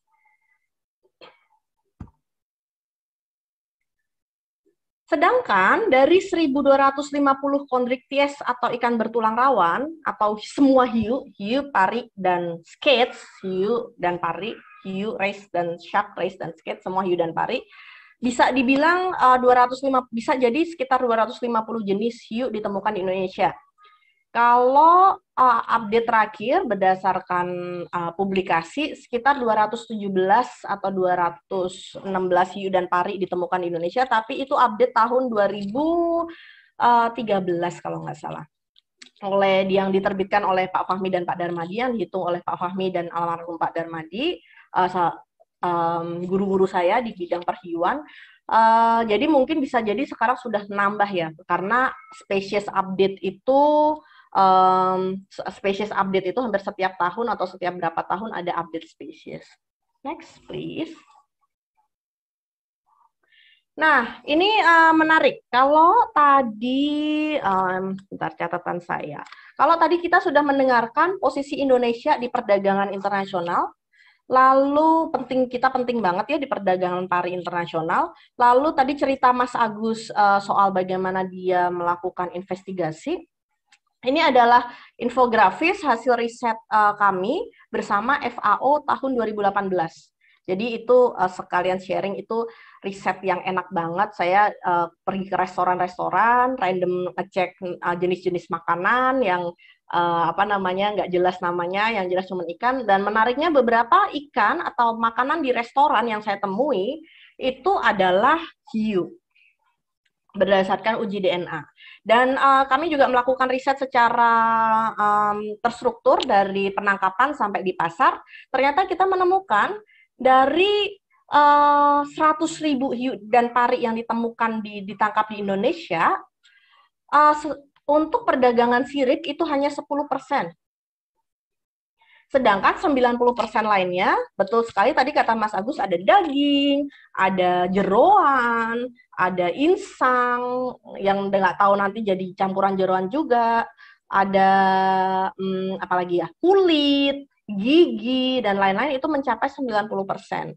Dan um, apa namanya, kita juga menemukan kalau kebanyakan uh, daging dan kon, uh, pro, produksi non sirip itu juga dikonsumsi lokal oleh kita.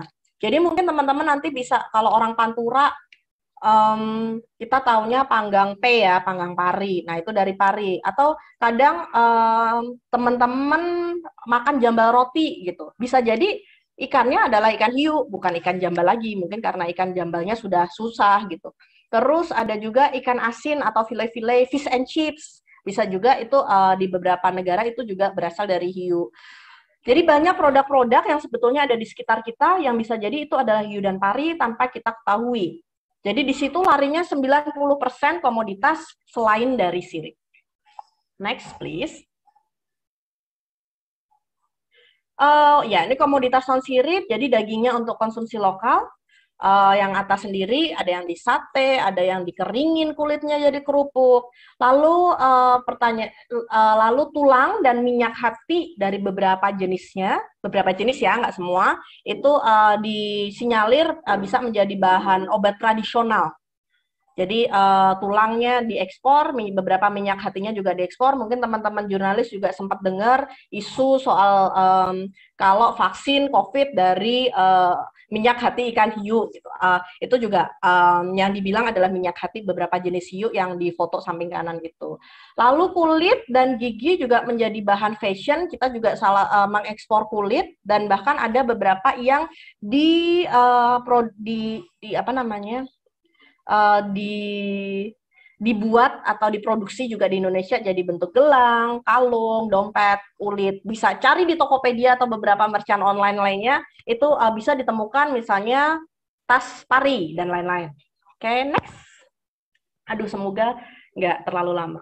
Nah, uh, ini uh, sebetulnya menjadi isu penting di mana hiu sebagai jenis prioritas konservasi. Tapi di sisi lain, hiu itu komoditas perikanan untuk para nelayan. Sehingga uh, saat ini banyak usaha untuk pengelolaan sebagai jalan tengah sebagai kebutuhan pangan dan ekonomi masyarakat dan ekosistem yang sehat. Kalau saya sebagai konservasionis tentunya saya mendukung hiu harus dikelola untuk mem, uh, untuk memastikan populasinya aman di laut. Tetapi kalau saya pergi ke lapangan, saya melakukan riset tentang hiu, nelayan atau pedagang atau gimana, mereka akan resistensi dulu, resisten dulu. Karena oh Mbak ini mau melakukan penelitian hiu supaya nanti hiu dilarang atau oh mau ngeliput hiu nih nanti uh, kami akan disalahkan karena kami nangkap hiu. Nah ini yang uh, menjadi pengalaman saya ketika di lapangan. Jadi ketika mau men men melakukan riset untuk mencari jalan tengah, tetapi justru uh, banyak stigma-stigma yang salah, yang miskonsepsi yang diterima oleh masyarakat uh, terhadap peneliti, terhadap orang yang mau mencari tahu apa yang terjadi, terhadap uh, jurnalis misalnya. Salah satunya misal di uh, salah satu site bekerja kami bersama uh, pemerintah Provinsi NTB dan BPSPL uh, Denpasar. Jadi ada desa di NTB namanya Desa Tanjung Luar. Kalau orang datang dulu bawa kamera sama teman-teman di TPI akan dibilang, "Gua mau ngapain nih?" Pasti mau ngeliput yang jelek, mau nyalahin kami ngebantai hiu dan lain-lain dan lain-lain. Di sisi lain uh, itu menjadi um, kesulitan kita untuk mencari informasi secara objektif sebetulnya apa yang terjadi. Jadi uh, menjadi tantangan bagaimana mencari jalan tengah untuk mengelola selain memastikan populasi ini sehat, tetapi juga kita bisa uh, membantu uh, nelayan dalam uh, memenuhi kebutuhannya. Next. Uh, nah, tantangannya uh, banyak. Kalau judulnya ini IUU ya ilegal. Tadi saya sudah sebutkan beberapa jenis hiu yang ilegal. Um, unreported karena namanya hiu itu banyak, jadi memang pendataan dan risetnya itu sangat sulit. Jadi uh, banyak miss pendataan, misrecorded, uh, misreported yang pendataan reporting dan recording yang tidak tepat karena namanya salah, jenisnya salah, namanya banyak, uh, cukup rumit, kompleksitasnya cukup rumit sehingga banyak yang tidak tepat, riset, pendataan, penamaan dan lain-lain. Nah, dan ada juga miskonsepsi nih terhadap topik hiu yang tadi sudah saya ceritakan di masyarakat miskonsepsinya sangat luar biasa. Nah, karena terbatasnya pendataan, pencatatan dan lain-lain, sehingga regulasi unregul uh, sehingga hiu kebanyakan hampir di seluruh Indonesia itu unregulated atau tidak dikelola. Karena pertanyaannya, gimana cara ngelolanya? Kita nggak tahu apa-apa informasi tentangnya, inform, uh, jenisnya apa yang mau di uh, yang mau diprioritaskan. Mungkin sudah ada beberapa jenis prioritas ya, mungkin sekitar 30 atau 40. Tapi jenis hiu dan pari kita lebih dari 200, 170 jenis lainnya gimana? Dan itu yang membuat hiu, uh, saya suka sekali dengan judulnya yang ilegal, unreported, dan unregulated. Uh, karena ini uh, nyambung sekali dengan uh, hal yang saya temui di lapangan dan dalam kehidupan saya sehari-hari. Next, please. Oke, okay, terima kasih. Semoga tidak terlalu lama, semoga juga nyambung. Oke, saya kembalikan kepada Mbak MC. Selamat sore. Terima kasih Mbak Bine, uh, Benaya yang sudah membagikan data dan juga hasil risetnya seputar penangkapan hiu dan terima kasih tadi ya Mbak Benaya sudah mengingatkan bahwa yang terdapat 100 spesies itu lebih dari 100 spesies itu adalah pari ya. terima kasih loh Mbak sudah dikoreksi. Nah, teman-teman sekarang kita akan langsung masuk ke sesi tanya jawab dan tadi kita sudah mendengarkan presentasi yang luar biasa dari ketiga narasumber kita. Silakan teman-teman langsung saja raise hand untuk berdiskusi atau berbicara langsung dengan para narasumber kita. Langsung saja akan diberikan kesempatan untuk berdiskusi. Oke, atau Anda juga bisa mengetikkan pertanyaan di kolom chat, silahkan yang sudah mengangkat tangan. Yes. Baik, ya. Pak Rudiansyah, silakan. Uh, ya. ya, terima kasih banyak uh, atas kesempatannya. Sebenarnya uh, yang menarik di sini itu adalah uh, bagaimana sih sebenarnya uh, kehidupan nelayan yang uh, terlibat dalam uh, menangkap hiu dan pari sendiri. Karena kalau dipikir uh, proses penangkapan hiu ini tidak uh, tidak mudah ya, tidak mudah dan membutuhkan waktu dan biaya yang cukup uh, cukup besar. Tetapi sampai sekarang saya belum mendengar bahwa ada ada nelayan uh, nelayan nelayan uh, khusus yang menangkap hiu itu berhasil. Apakah sudah uh, ada pernah teman-teman uh, yang melakukan riset uh, kenapa juga uh, para nelayan ini tetap uh, mau menangkap hiu walaupun kemudian sebenarnya kehidupannya memang begitu-begitu saja. Padahal ini uh, soal pencarian kita mencari untuk untuk bisa bertahan hidup, untuk bisa menyekolahkan anak dan sebagainya untuk kebutuhan ekonomi. Apakah sudah ada yang pernah uh, mungkin uh, itu? Apakah sudah ada teman-teman uh, yang menemukan bahwa ada nelayan yang khusus menangkap hiu itu sudah berhasil sekarang? Baik, Mas Rudiansyah dari media Fajar ya, fajar.co.id ya Mas? Harian Fajar, Harian oh, Fajar dari Makassar. Harian Fajar Makassar. Pertanyaannya boleh langsung ditanggapi oleh Mas Agus atau Mbak Benaya terlebih dahulu? Oke, oke Mbak. Ya, silakan Mas Agus. Uh, nah, jadi setelah setelah liputan yang soal perdagangan itu saya melakukan liputan lagi khusus si nelayan penangkap hiu yang di Pulau Ambo. Jadi, oh sorry, jelas kah? Iya jelas Suaranya? terdengar. Oh ya. Jadi uh, di Pulau Ambo ini uh, mereka punya julukan Pangihang.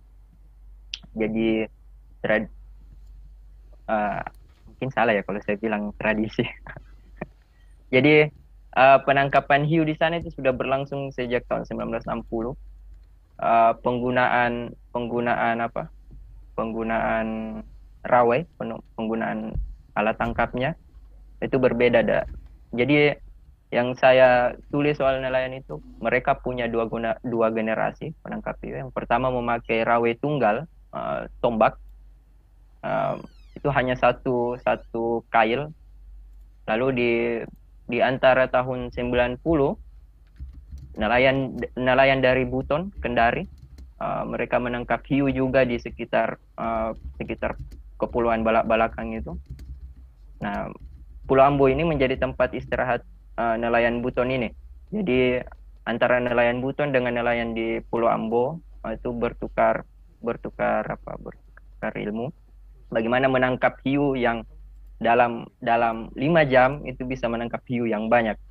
Jadi uh, nelayan Buton ini mengajarkan nelayan Ambo uh, bagaimana menggunakan uh, long uh, rawe yang seperti jemuran itu, rawe tuna itu.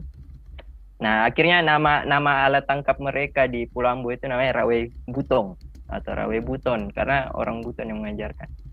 Uh, jadi kenapa mereka masih menangkap hiu? Sebenarnya satu nelayan bilang, jadi oh ya ini saya lupa tadi waktu yang awalnya. Jadi perdagangan hiu di Indonesia ini isunya lebih lebih tepat saya kira kalau ini isu sosial ekonomi. Jadi para para penangkap hiu ini adalah nelayan-nelayan yang ya nelayan tradisional, nelayan yang apalagi nelayan yang khusus menangkap hiu yang hanya men, hanya menjual hiu tidak ada tidak ada tidak ada tangkapan yang lain.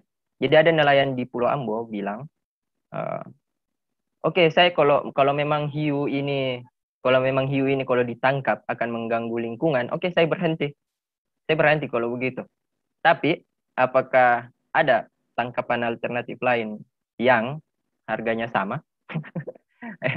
ya kalau kalau dijual satu atau dua ekor harganya sama dengan satu ekor hiu sayangnya mungkin itu masih, masih saya saya tidak bisa menjawab juga waktu waktu si nelayan uh, bertanya itu. Jadi nelayan ini punya banyak beban dalam satu kapal itu. Uh, tidak hanya satu satu satu ABK ada ada. Karena ini long line kan panjang sekali panjang sekali ini long line uh, mereka butuh butuh ABK untuk menarik long line uh, mengoperasikan kapal dan lain-lain. Jadi uh, hasil penjualan hiu itu itu dibagi. Dan itu saya kira tidak seberapa jadi ada satu satu pemilik kapal itu.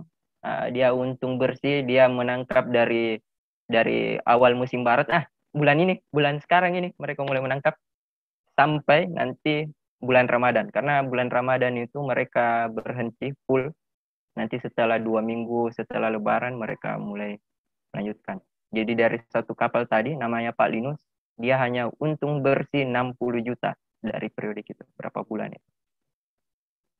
Jadi uh, saya kira kalau kenapa mereka masih menangkap dia karena hanya itu uh, mata pencarian yang menjanjikan buat mereka. Jadi sorry. Baik. Halo? Ya, Mas Agus masih terdengar suaranya dengan jelas. Oke. Okay. Oh iya iya. Siap. Jadi kayaknya uh, kenapa masa ma masih menangkap ya karena memang mereka hanya bergantung di ya, hiu. Ya. Oke. Mbak Benaya mungkin tambahan. menambahkan Siap. juga, Mbak. Oke, uh, terima kasih. Uh, ini juga sekalian cerita ya dulu juga saya pertama neliti hiu sedih lihat hiu gitu uh, udah besar dipotong-potong dan karena saya belajar sains saya tahu kondisi biologi dia cukup rentan. Tetapi di sisi lain ketika saya melihat juga kondisi nelayan dan lain-lain uh, menjadi tantangan sebetulnya bagaimana melakukan konservasi dengan pendekatan-pendekatan humanis. Itu menjadi PR besar para konservasionis saat ini termasuk saya. Memang uh, bagus banget pertanyaannya apakah ada nelayan yang sukses gitu? Tentunya uh, kalau mendapatkan uang uh, tentunya ada yang sampai anaknya kuliah itu juga ada gitu. Cuman um, kondisi nelayan sebetulnya mereka uh, banyak keterbatasan-keterbatasan yang membuat mereka akhirnya hidupnya di situ-situ aja. Uh, bisa jadi mereka punya um, hutang piutang dengan para uh, para pengepulnya sehingga mau nggak mau mereka hidupnya muterin duit aja gimana cara bayar utang seumur hidup. Uh, terus ada juga uh, lifestyle mereka um, karena mereka is, isi kam isi go kalau uh, persepsi banyak persepsi nelayan di Indonesia karena kebetulan saya juga um, banyak berkeliling ya di Indonesia untuk ke uh, desa nelayan. Banyak nelayan yang ah kalau duit habis ya udah ke laut aja nangkep ikan. Dapat duit jadi isi kam isi go gitu. Jadi uh, akhirnya mereka tidak bisa tidak mempunyai sistem keuangan sebaik petani Kalau kita ngomong masyarakat miskin, kebanyakan pasti cuman di uh, pesisir gitu. Sedikit kita ngomong masyarakat petani yang uh, hidupnya uh, miskin gitu. Tapi karena mereka punya sistem saving yang bagus, mereka punya seasonal management yang bagus beda sama nelayan. Um, lalu, nah itu betul banget kata Mas Agus, mereka sudah juga ter terjebak di kondisi yang berpuluh-puluh tahun skillnya itu saja itu itu saja itu untuk nelayan kelas uh, skala artisanal dan tradisional ya bukan yang industrial. Karena kalau industrial mereka betul-betul pekerja ABK mereka betul-betul buruh yang punya license dan lain-lain. Ini berbeda uh, ceritanya gitu sama teman-teman ABK yang di kapal tuna. Ini saya ngomong di yang tradisional sampai semi komersial. Um, ya itu um, mereka bertahun-tahun skillnya itu saja um, tidak punya banyak pendidikan, tidak punya banyak kesempatan untuk mengetahui memperbaiki kondisi kehidupan mereka seperti apa. Mungkin memang ada beberapa lokasi yang anaknya bisa sampai uh, S1, S2, terus um, uh, usahanya sukses, anaknya di, disuruh belajar perikanan, beberapa teman saya juga terus ngatur uh, perusahaan orang tuanya itu juga ada. Tetapi kalau kita mau ngomong ke nelayan yang memang terjebak di uh, di di kondisi kemiskinan dan kondisi sosial tertentu itu ya cukup sulit. Salah satunya misalnya di uh, di NTB mereka sudah di di Lombok di salah satu pulau yang saya bekerja, mereka sudah bekerja di uh, menjadi seperti kata Mas Agus dari tahun 60-an, 70-an, rata-rata nelayan Bugis Bajo yang mereka dari situ. Bayangkan saja beberapa generasi skillnya cuma cuma nangkap hiu. Terus tiba-tiba kita datang dan dibilang jangan nangkap hiu lagi, masuk akal nggak? Nggak masuk akal sama sekali buat mereka. Jadi bagaimana kita mencari uh, solusi sebetulnya beberapa solusi misalnya ibu-ibunya kita kasih pekerjaan lain sehingga kalau uh, bapak-bapaknya nangkap hiunya dibatasi yang tadinya cuma boleh nangkap 10, oh ada kuota tangkap cuma boleh nangkap 5. Mereka yang dapatnya duit misalnya tadinya satu juta cuma lima ratus ribu, lima ratus ribunya income dari ibu-ibu. Itu uh, solusi-solusi uh, yang masuk akal yang win-win solution seperti itu yang memang dibutuh lebih dibutuhkan dan lebih banyak direplikasi. Jadi apakah pernah nemu nelayan hiu yang sukses? Ada, tetapi yang uh, hidupnya berputar dalam kemiskinan juga banyak karena uh, itu nggak cuma nelayan hiu saja, tetapi kebanyakan nelayan di Indonesia mereka uh, kondisinya seperti itu. Itu yang apa ya? Ada juga ilmu yang namanya ilmu persepsi uh, dan persepsi mereka kayak gitu kayak gitu saja. Jadi kalau tidak ada pendidikan luar yang masuk, tidak ada upaya merubah persepsi dan merubah kesadaran, ya akhirnya akan berputar di situ-situ saja dan bisa dibilang upaya konservasi pengelolaan hiu ini cukup terlambat ya. Uh, ini cukup ini baru hits kalau mau dibilang 10-15 tahun, tapi kalau kita ngomong konservasi badak itu mungkin udah dari zaman Hindia Belanda gitu. Nah itu yang uh, ini yang cukup berbeda kalau kita ngomongin hiu dengan pendekatan humanis dan uh, masyarakat kita yang kita hadapi sehari-hari. Terima kasih. Baik, terima kasih Mbak Benaya dan Mas Agus yang sudah memberikan tanggapan. Sekarang kita lanjutkan ke pertanyaan berikutnya dan teman-teman yang bertanya boleh disebutkan juga nama dan dari media mana serta pertanyaannya untuk pembicara yang mana ya karena ada tiga pembicara kita yang hadir di sini kepada Mbak Agus, eh Mbak Benaya atau Mas Agus atau Simon dari WWF yang ingin bertanya kepada Simon juga bisa pakai bahasa Indonesia nanti akan ada penerjemah yang mentranslate pertanyaan kita kepada Simon. Baik, berikutnya kesempatan bertanya dan diskusi dari Jafarudin, Serambi Indonesia. Silahkan. Diaktifkan dulu, Mas oh, Jafar. Ya. Baik, terima kasih. Assalamualaikum warahmatullahi wabarakatuh.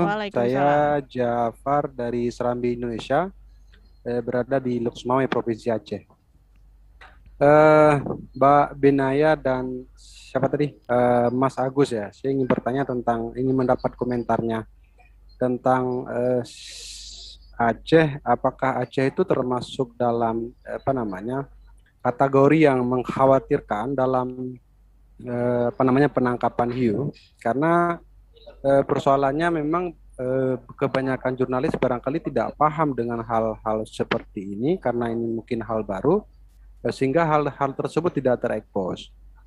Eh, kemudian itu satu. Kemudian yang kedua, kebanyakan nelayan di sini ini eh, menggunakan pukatrol dan ini sudah apa namanya? Sudah terjadi konflik antara pemakai pukatrol atau pukat harimau dengan nelayan tradisional yang menggunakan alat tangkap yang ramah lingkungan. Ini juga menjadi persoalan dan saya sering melakukan liputan ini, tapi, tapi uh, saya lihat tidak ada perubahan apa-apa terhadap persoalan ini. Tidak ada tindakan ataupun upaya yang bisa mengatasi persoalannya. Sepertinya eh, nelayan tradisional itu sudah pesimis dengan apa namanya protes terhadap Bukatro. Itu yang kedua. Kemudian yang ketiga boleh satu lagi Mbak ya.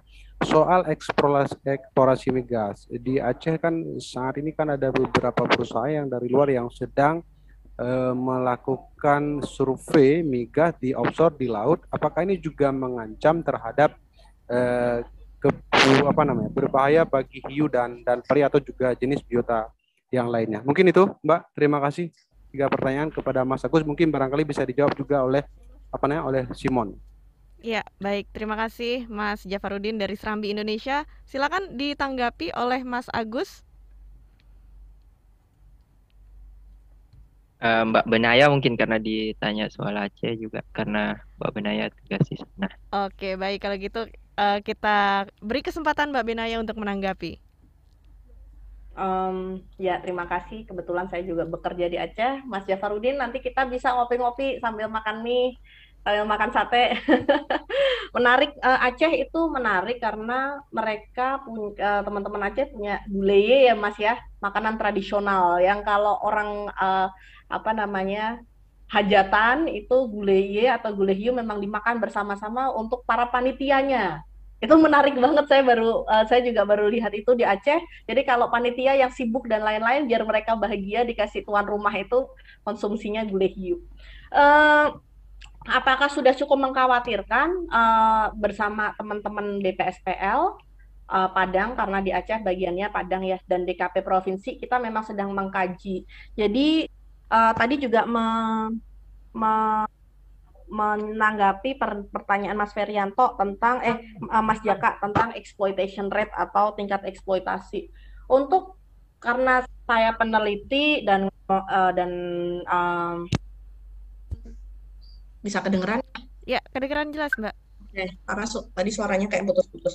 Uh, untuk ngomongin tingkat eksploitasi sudah mengkhawatirkan atau belum, itu banyak metode yang dilakukan. Misalnya ngukurin tiap hari. Mungkin kalau Mas Jafarudin uh, pernah lihat teman-teman inovator uh, atau teman-teman yang ngukur hiu tiap hari itu nanti dianalisis sedemikian rupa sampai kita dapat hasil hitungan matematiknya oh spesies ini mengkhawatirkan spesies ini tidak mengkhawatirkan dan lain-lain.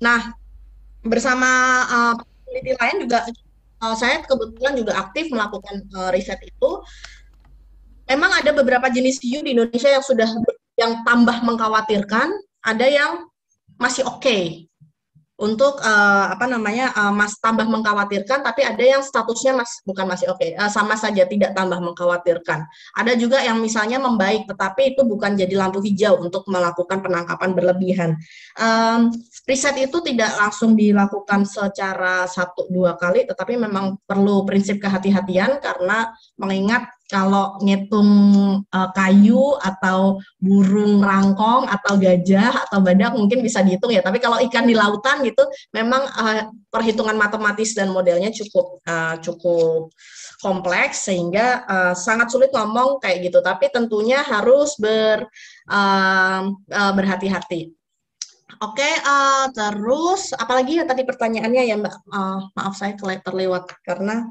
saya sedang baca yang lain. Iya, Uh, Mas Jafarudin, boleh diulangi lagi pertanyaannya?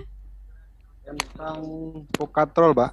Oh iya, Pukat. Jadi... Uh, iya, kalau itu nanti isunya akan berbeda ya, Mas. Bukan isu hiu, tetapi dia akan isu sosial, isu uh, horizontal dengan penggunaan alat tangkap.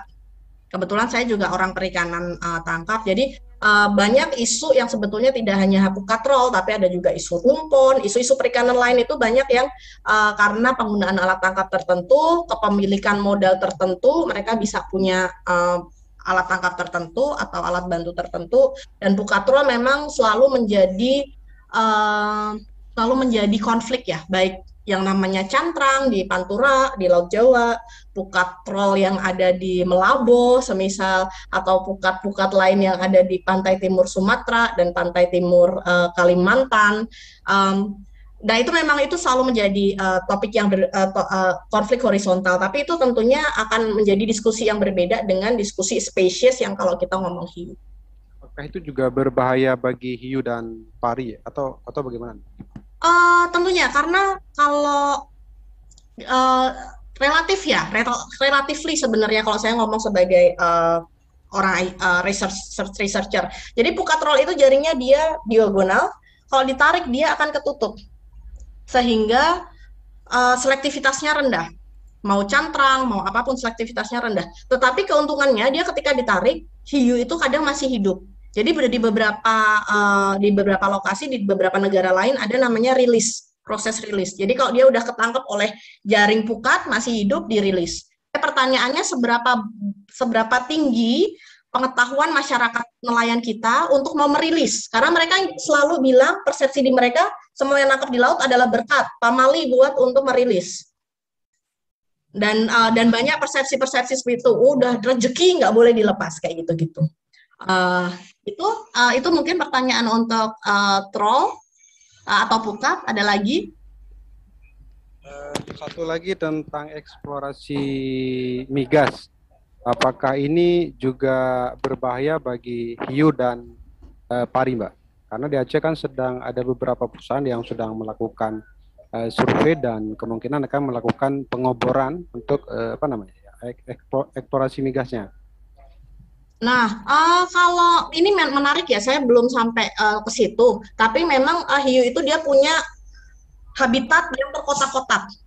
Jadi kalau yang kecil sukanya dia di habitat tertentu, nanti yang sedang ke tengah sedikit, nanti yang besar dia akan ke laut lepas. Nah, apakah um, eksplorasinya itu di habitat hiu itu menjadi pertanyaan. Kalau itu di habitat hiu, tentunya dia akan uh, berpengaruh ya untuk populasi hiu. Tetapi kalau posisinya um, dia tapi hiu berbeda dengan kayak mamalia laut. Kalau mamalia laut ada bunyi apa sedikit di bawah laut, dia terpengaruh sehingga dia kadang stranded atau terdampar atau dia mengubah navigasinya. Tapi hiu dia tidak menggunakan telinga, dia lebih menggunakan reseptor uh, atau elektromagnet yang ada di hidung dan sekitarnya sehingga uh, kalau habitatnya itu terganggu atau rusak, tentunya dia juga akan uh, itu juga berpengaruh juga ke hiu. Tapi untuk sampai detail di Aceh posisinya seperti apa itu uh, memerlukan riset lebih lanjut mungkin. Gitu kalau dari saya. Terima kasih. Mungkin ya. um, yang lain kalau mau menambahkan silakan. Ya. Mas Jafar sudah terjawab semua ya pertanyaannya ya? Uh, satu barangkali Mbak yang masih ya. ini ya, barangkali Simon barangkali mungkin punya pengalaman terhadap, terhadap eksplorasi migas darat. Apakah ini juga berbahaya bagi Yu dan Pari atau jenis ikan yang lainnya, Mbak? Baik, kalau gitu boleh langsung ditanggapi oleh Simon, silahkan.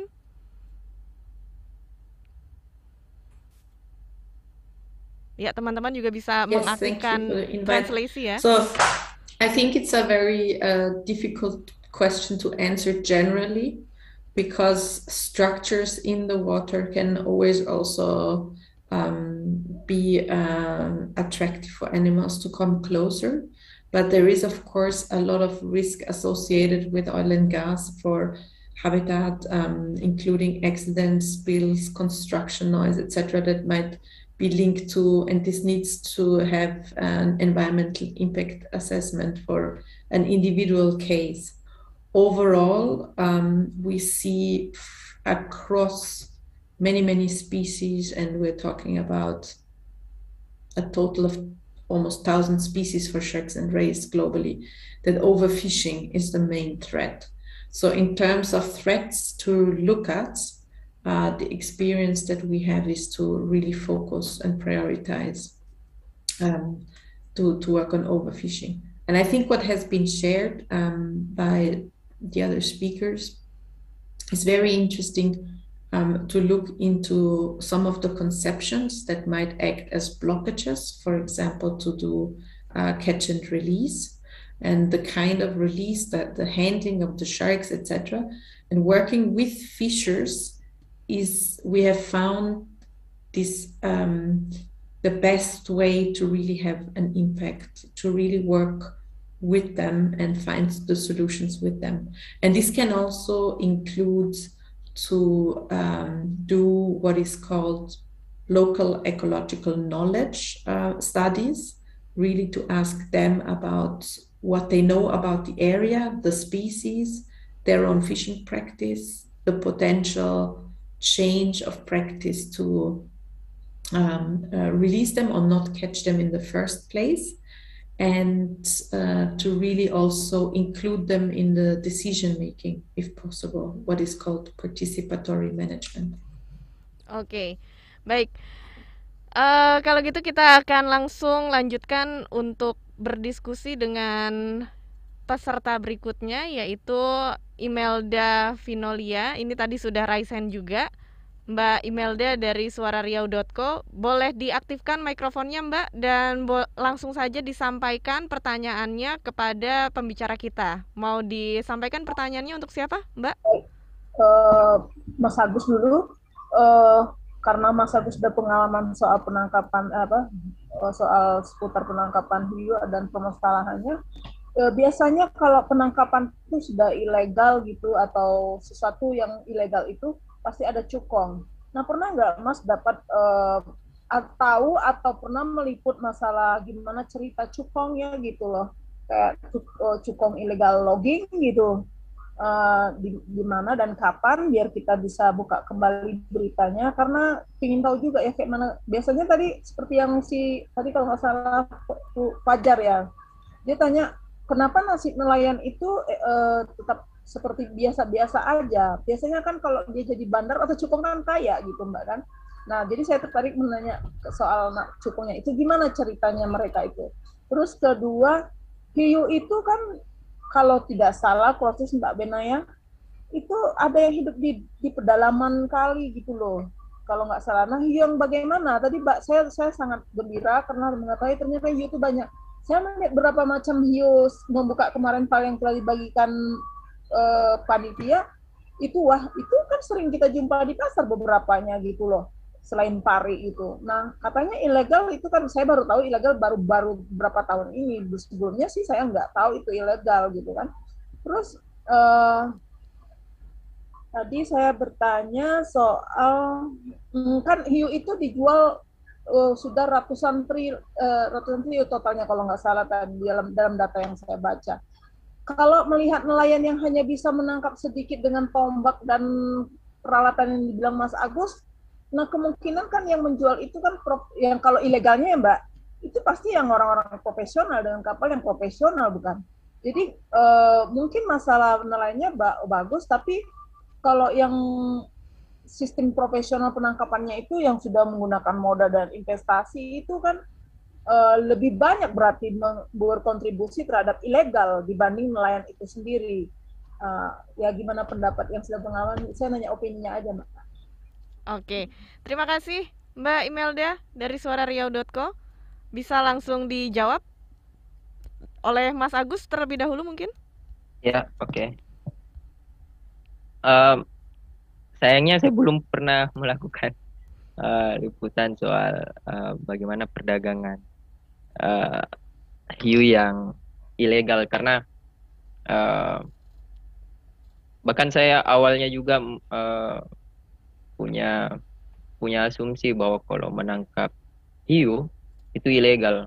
Nah ternyata ada ada hiu yang memang boleh ditangkap tapi uh, dengan dengan aturan ketat seperti uh, selektivitas tangkap mulai dari uh, alat tangkapnya mata pancingnya diperbesar dan lain-lain banyak. Nah, nah itu sementara saya cari juga. Untuk cukongnya mungkin tadi Mas cukong hiu iya, yang ditanyakan. Cukong cukong ini sementara saya cari juga. Iya. Uh, di Makassar sudah ada sebenarnya cuman. Iya. Saya belum bisa membuka itu. Berarti kayak bandar narkotik juga ya Ah iya. Si mafia mafia si cukong itu. Saya iya kayaknya Tempo pernah menurunkan liputan soal itu tahun lalu mungkin ya. Kayak Tempo, majalah Tempo pernah turunkan investigasi itu. Ya. Jika email bisa. Oke, baik. Nah, kalau gitu uh, pertanyaannya juga bisa ditanggapi oleh Mbak Benaya. Silahkan. Oke, selamat sore. Saya lagi ngetik jawabannya, mohon bersabar teman-teman jurnalis. Saya senang nih pertanyaannya, menarik sedikit semangat.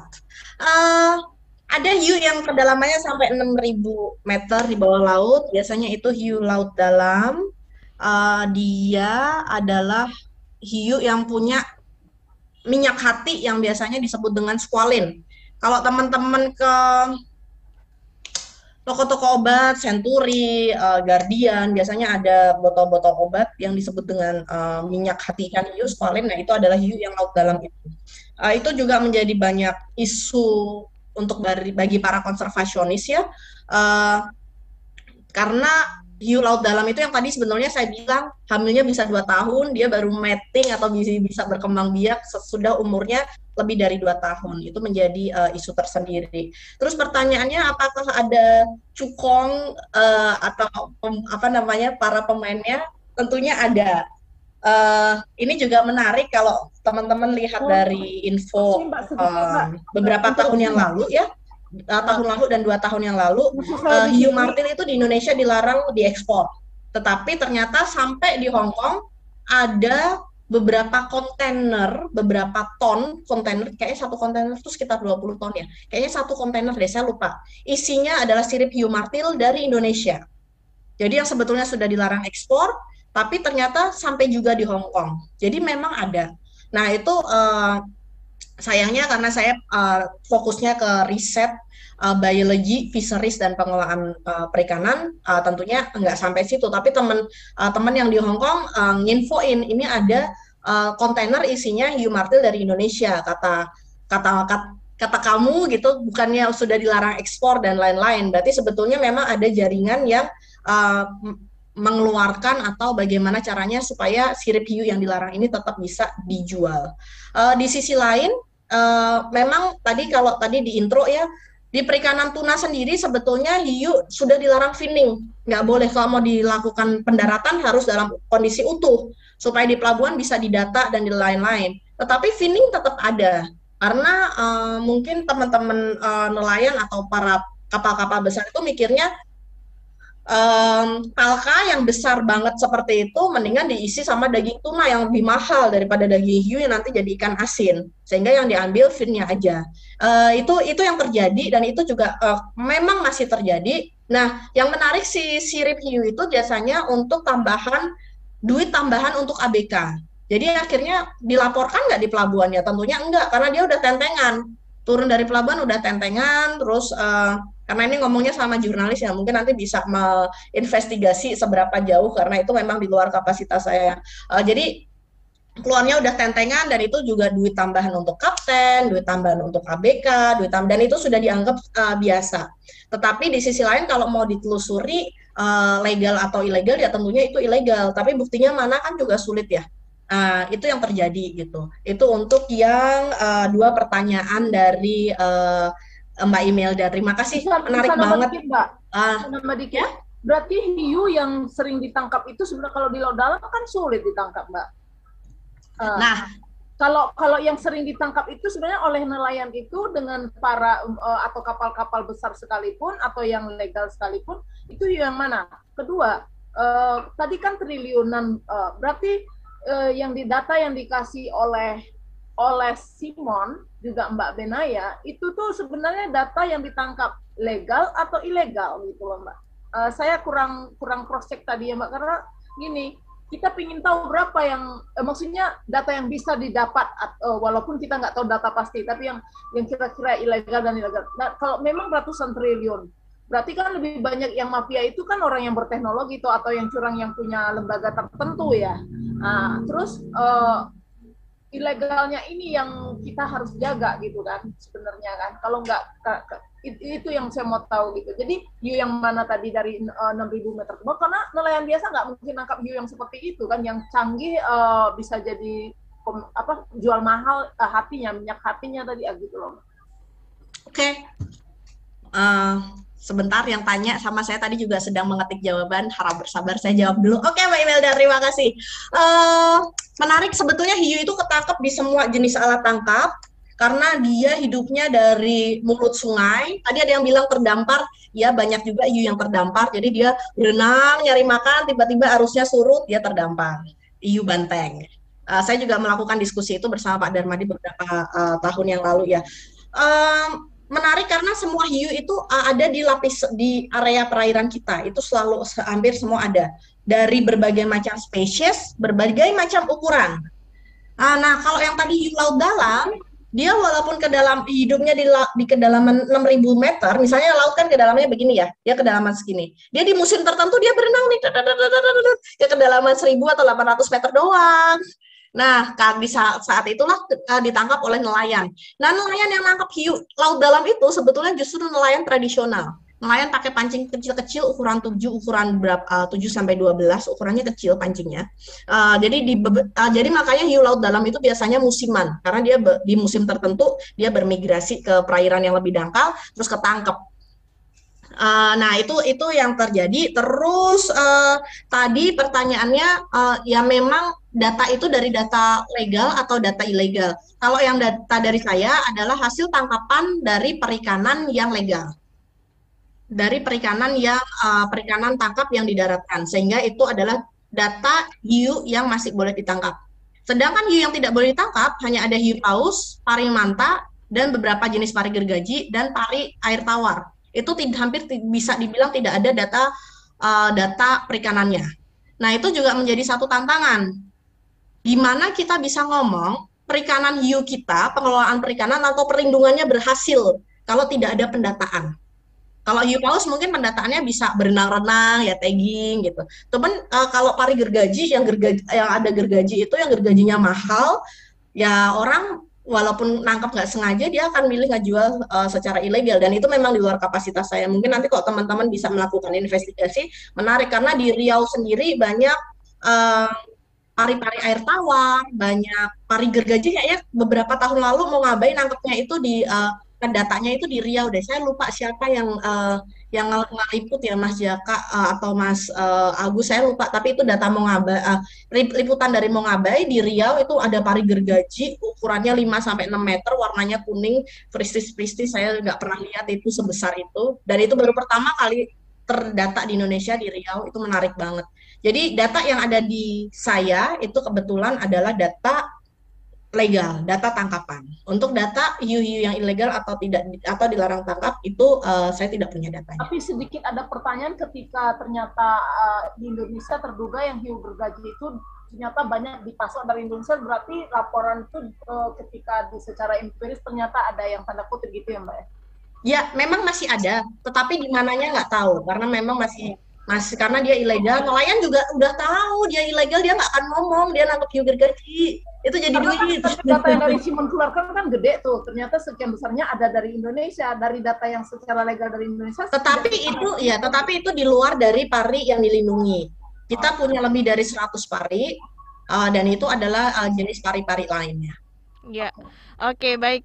Terima kasih Mbak Imelda yang sudah ikut berdiskusi dan tadi saya juga ngelihat ada yang raise hand yaitu Jaka Mas Jaka dari Mongabe ini mau memberikan pertanyaan atau memberikan komentar? Silakan Mas Jaka.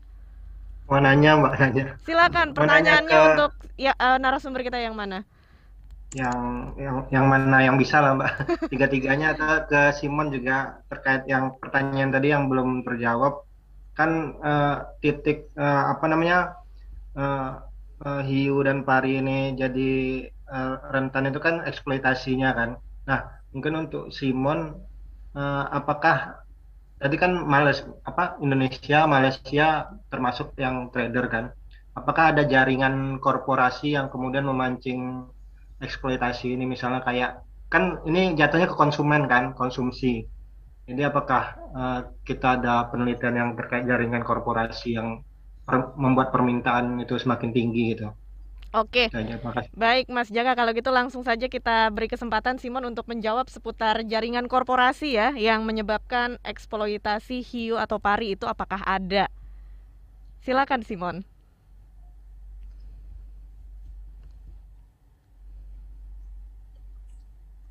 So regarding the cooperation, um, um, I hope I understood the question correctly. So there are some consumer campa campaigns that are being done also, and there's some collaboration also with uh, corporate uh, corporations in order to improve uh, the traceability. I think one important uh, point to remember is also coming back to what Benaya has said. Not all shark species are illegal. Um, it's very difficult to manage what you do not have any data on. And it's very difficult also to um, uh, look into trade where the data is too blurry, where you really don't know what uh, product categories you are talking of and what species you are talking of. So in the IUUF, there is illegal, unmanaged, and unregulated. And in order to manage some of the shark fisheries, partic- particularly the traditional shark fisheries, it is often very important to work with the communities. So doing prohibitions alone will not um, work out in order to improve the conservation in many cases because, as Benaya has also said, sometimes they just don't report it anymore because in case they know this is an illegal species, they will not report it.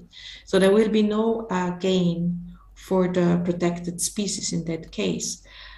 One of the solutions in that can be, first of all, to work on something that is called co-management. So it includes the communities as stakeholders to um, develop the management and the regulations and the decisions to contribute with the knowledge that they have, to contribute also the data on their catches, to find ways on talking to them what species are they catching now, what species did they used to catch, is there any change, for example. And in this type of fisheries, this might be the most efficient way, whereas in commercial fisheries, um, you need to work on the transparency. And working on the transparency here, I'm not an expert for the Indonesian um, fisheries. So we have colleagues in WWF Indonesia who might be much more suited or from other NGOs or uh, research to reply to this. But there are several ways of improving uh, transparency of the fishery, which is the first step to have traceability. And here, the corporations that you ask for come in place because also they they can rarely go themselves on the vessels to do the controls but they can support the controls. And they can also kind of tell to their consumers the story that they are doing if they do this kind of support work. So um, and this is interestingly enough not only linked to a shark product itself but also to seafood product where sharks might be caught as so-called bycatch, which is either secondary target catch actually, so it's being landed, so it's being calculated that they catch it, but there's just no management, or it's really bycatch that is being discarded and not wanted. Um, so there are several aspects to this. We see a big problem when shark catch is called bycatch when it actually is a considered part of the catch and is being landed and is being marketed, but there's no management. And they say, well, my main target species is, I'm giving an example, tuna, and 25% of my catch is shark, and I'm selling this, but it's less valuable. Um, and I'm not managing this. So this should be managed as well in order to um, have sustainable fishery. And corporates should ask for traceability, they should ask for measures, they should support in this. Bigger corporations should invest in improving uh, the sustainability, and they can also work with the consumers where they are often the most direct communication channel to the consumers to inform them about what they are supporting and also about their products. Okay. I hope I, I managed to answer it. Baik. Wah, ini menarik sekali ya diskusi kita siang hari ini seputar IUUF serta rantai dagang hiu dan pari. Nggak berasa kita sudah ngobrol-ngobrol selama kurang lebih dua jam dan sekarang kita sudah masuk di penghujung acara workshop ini dan saya juga lihat banyak teman-teman yang masih terus berdiskusi lewat kolom chat.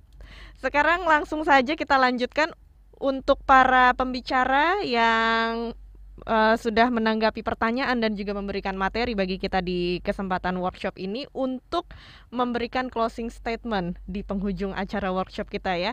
Kepada Mas Agus silakan Mas memberikan closing statement singkat saja apa yang mau disampaikan. Ya, oke. Okay. Aduh, saya bingung kalau ditanya closing statement. ya saya masih apa masih uh, uh, Pak siapa saya lupa namanya. Ya kalau mau kalau memang ingin menghentikan uh, penangkapan hiu ya berhenti untuk memakan saya kira itu. Iya. Nah tugas tugas jurnalis saya kira untuk uh, mendorong itu biar orang berhenti makan hiu nah pesan untuk sesama jurnalis ya tidak makan ikan hiu ya. Mungkin kalau mau ya, ngobrol-ngobrol ya, ngobrol-ngobrol seputar liputan ya bisa ya iya sangat bisa sangat terbuka Oke. Bisa. Dan jangan makan, jangan makan satwa yang satwa liar, jangan makan satwa liar, termasuk hiu. Iya, baik. Uh, berikutnya dari Simon, apakah ada closing statement atau pesan yang ingin disampaikan kepada rekan-rekan jurnalis di Indonesia? Silahkan.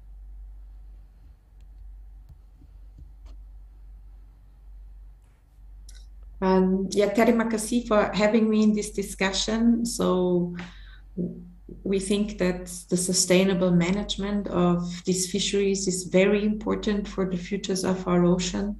Um, informed choices of consumers are also very important.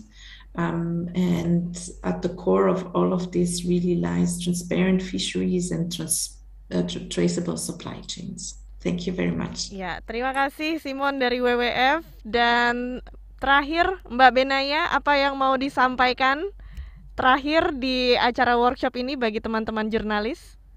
Ya mungkin kalau teman-teman jurnalis lihat saya uh, yang mau saya sampaikan banyak lagi gitu. Oke, okay, uh, eh, terima kasih kesempatannya. Uh, menarik sekali. Uh, saya minta tolong ke teman-teman jurnalis ketika nanti memberitakan sesuatu tolong diberitakan secara objektif uh, bagaimana hiu ini penting uh, bagaimana untuk teman-teman yang punya privilege tidak makan hiu tolong tidak makan hiu tolong tidak mengkonsumsi ikan ini karena dia uh, merupakan salah satu yang harus prioritas kita uh, lestarikan populasinya di alam. Uh, mungkin itu dan tolong uh, ya itu ya untuk teman-teman jurnalis sebagai um, ujung tombak dari pemberitaan-pemberitaan hiu seperti itu. Terima kasih. Terima kasih banyak Mbak Benaya dan juga pembicara kita yang luar biasa hari ini Mas Agus Mawan, jurnalis dari Mongabai Indonesia dan juga Simon Niedermüller, Regional Project Manager WWF. Saya ucapkan terima kasih banyak juga bagi rekan-rekan jurnalis yang sudah ikut bergabung pada workshop sesi pertama yang bertemakan seputar IUUF dan juga uh, Shark and Ray Product Supply Chains. Teman-teman semua uh, yang sudah bergabung di kesempatan kali ini jangan lupa juga ya untuk mengisi link absen yang sudah tersedia di kolom chat dan juga bagi peserta di mohon untuk mengisi pretest karena ini sifatnya wajib ya untuk mengisi pretest dan juga besok kita akan ketemu lagi di workshop yang dipersembahkan oleh AJF dan besok yang akan menjadi pembicara pada workshop ini adalah Philip Jacobson, contributing editor dari Bonga Bay dan juga Hairul Anam dari Tempo Magazine.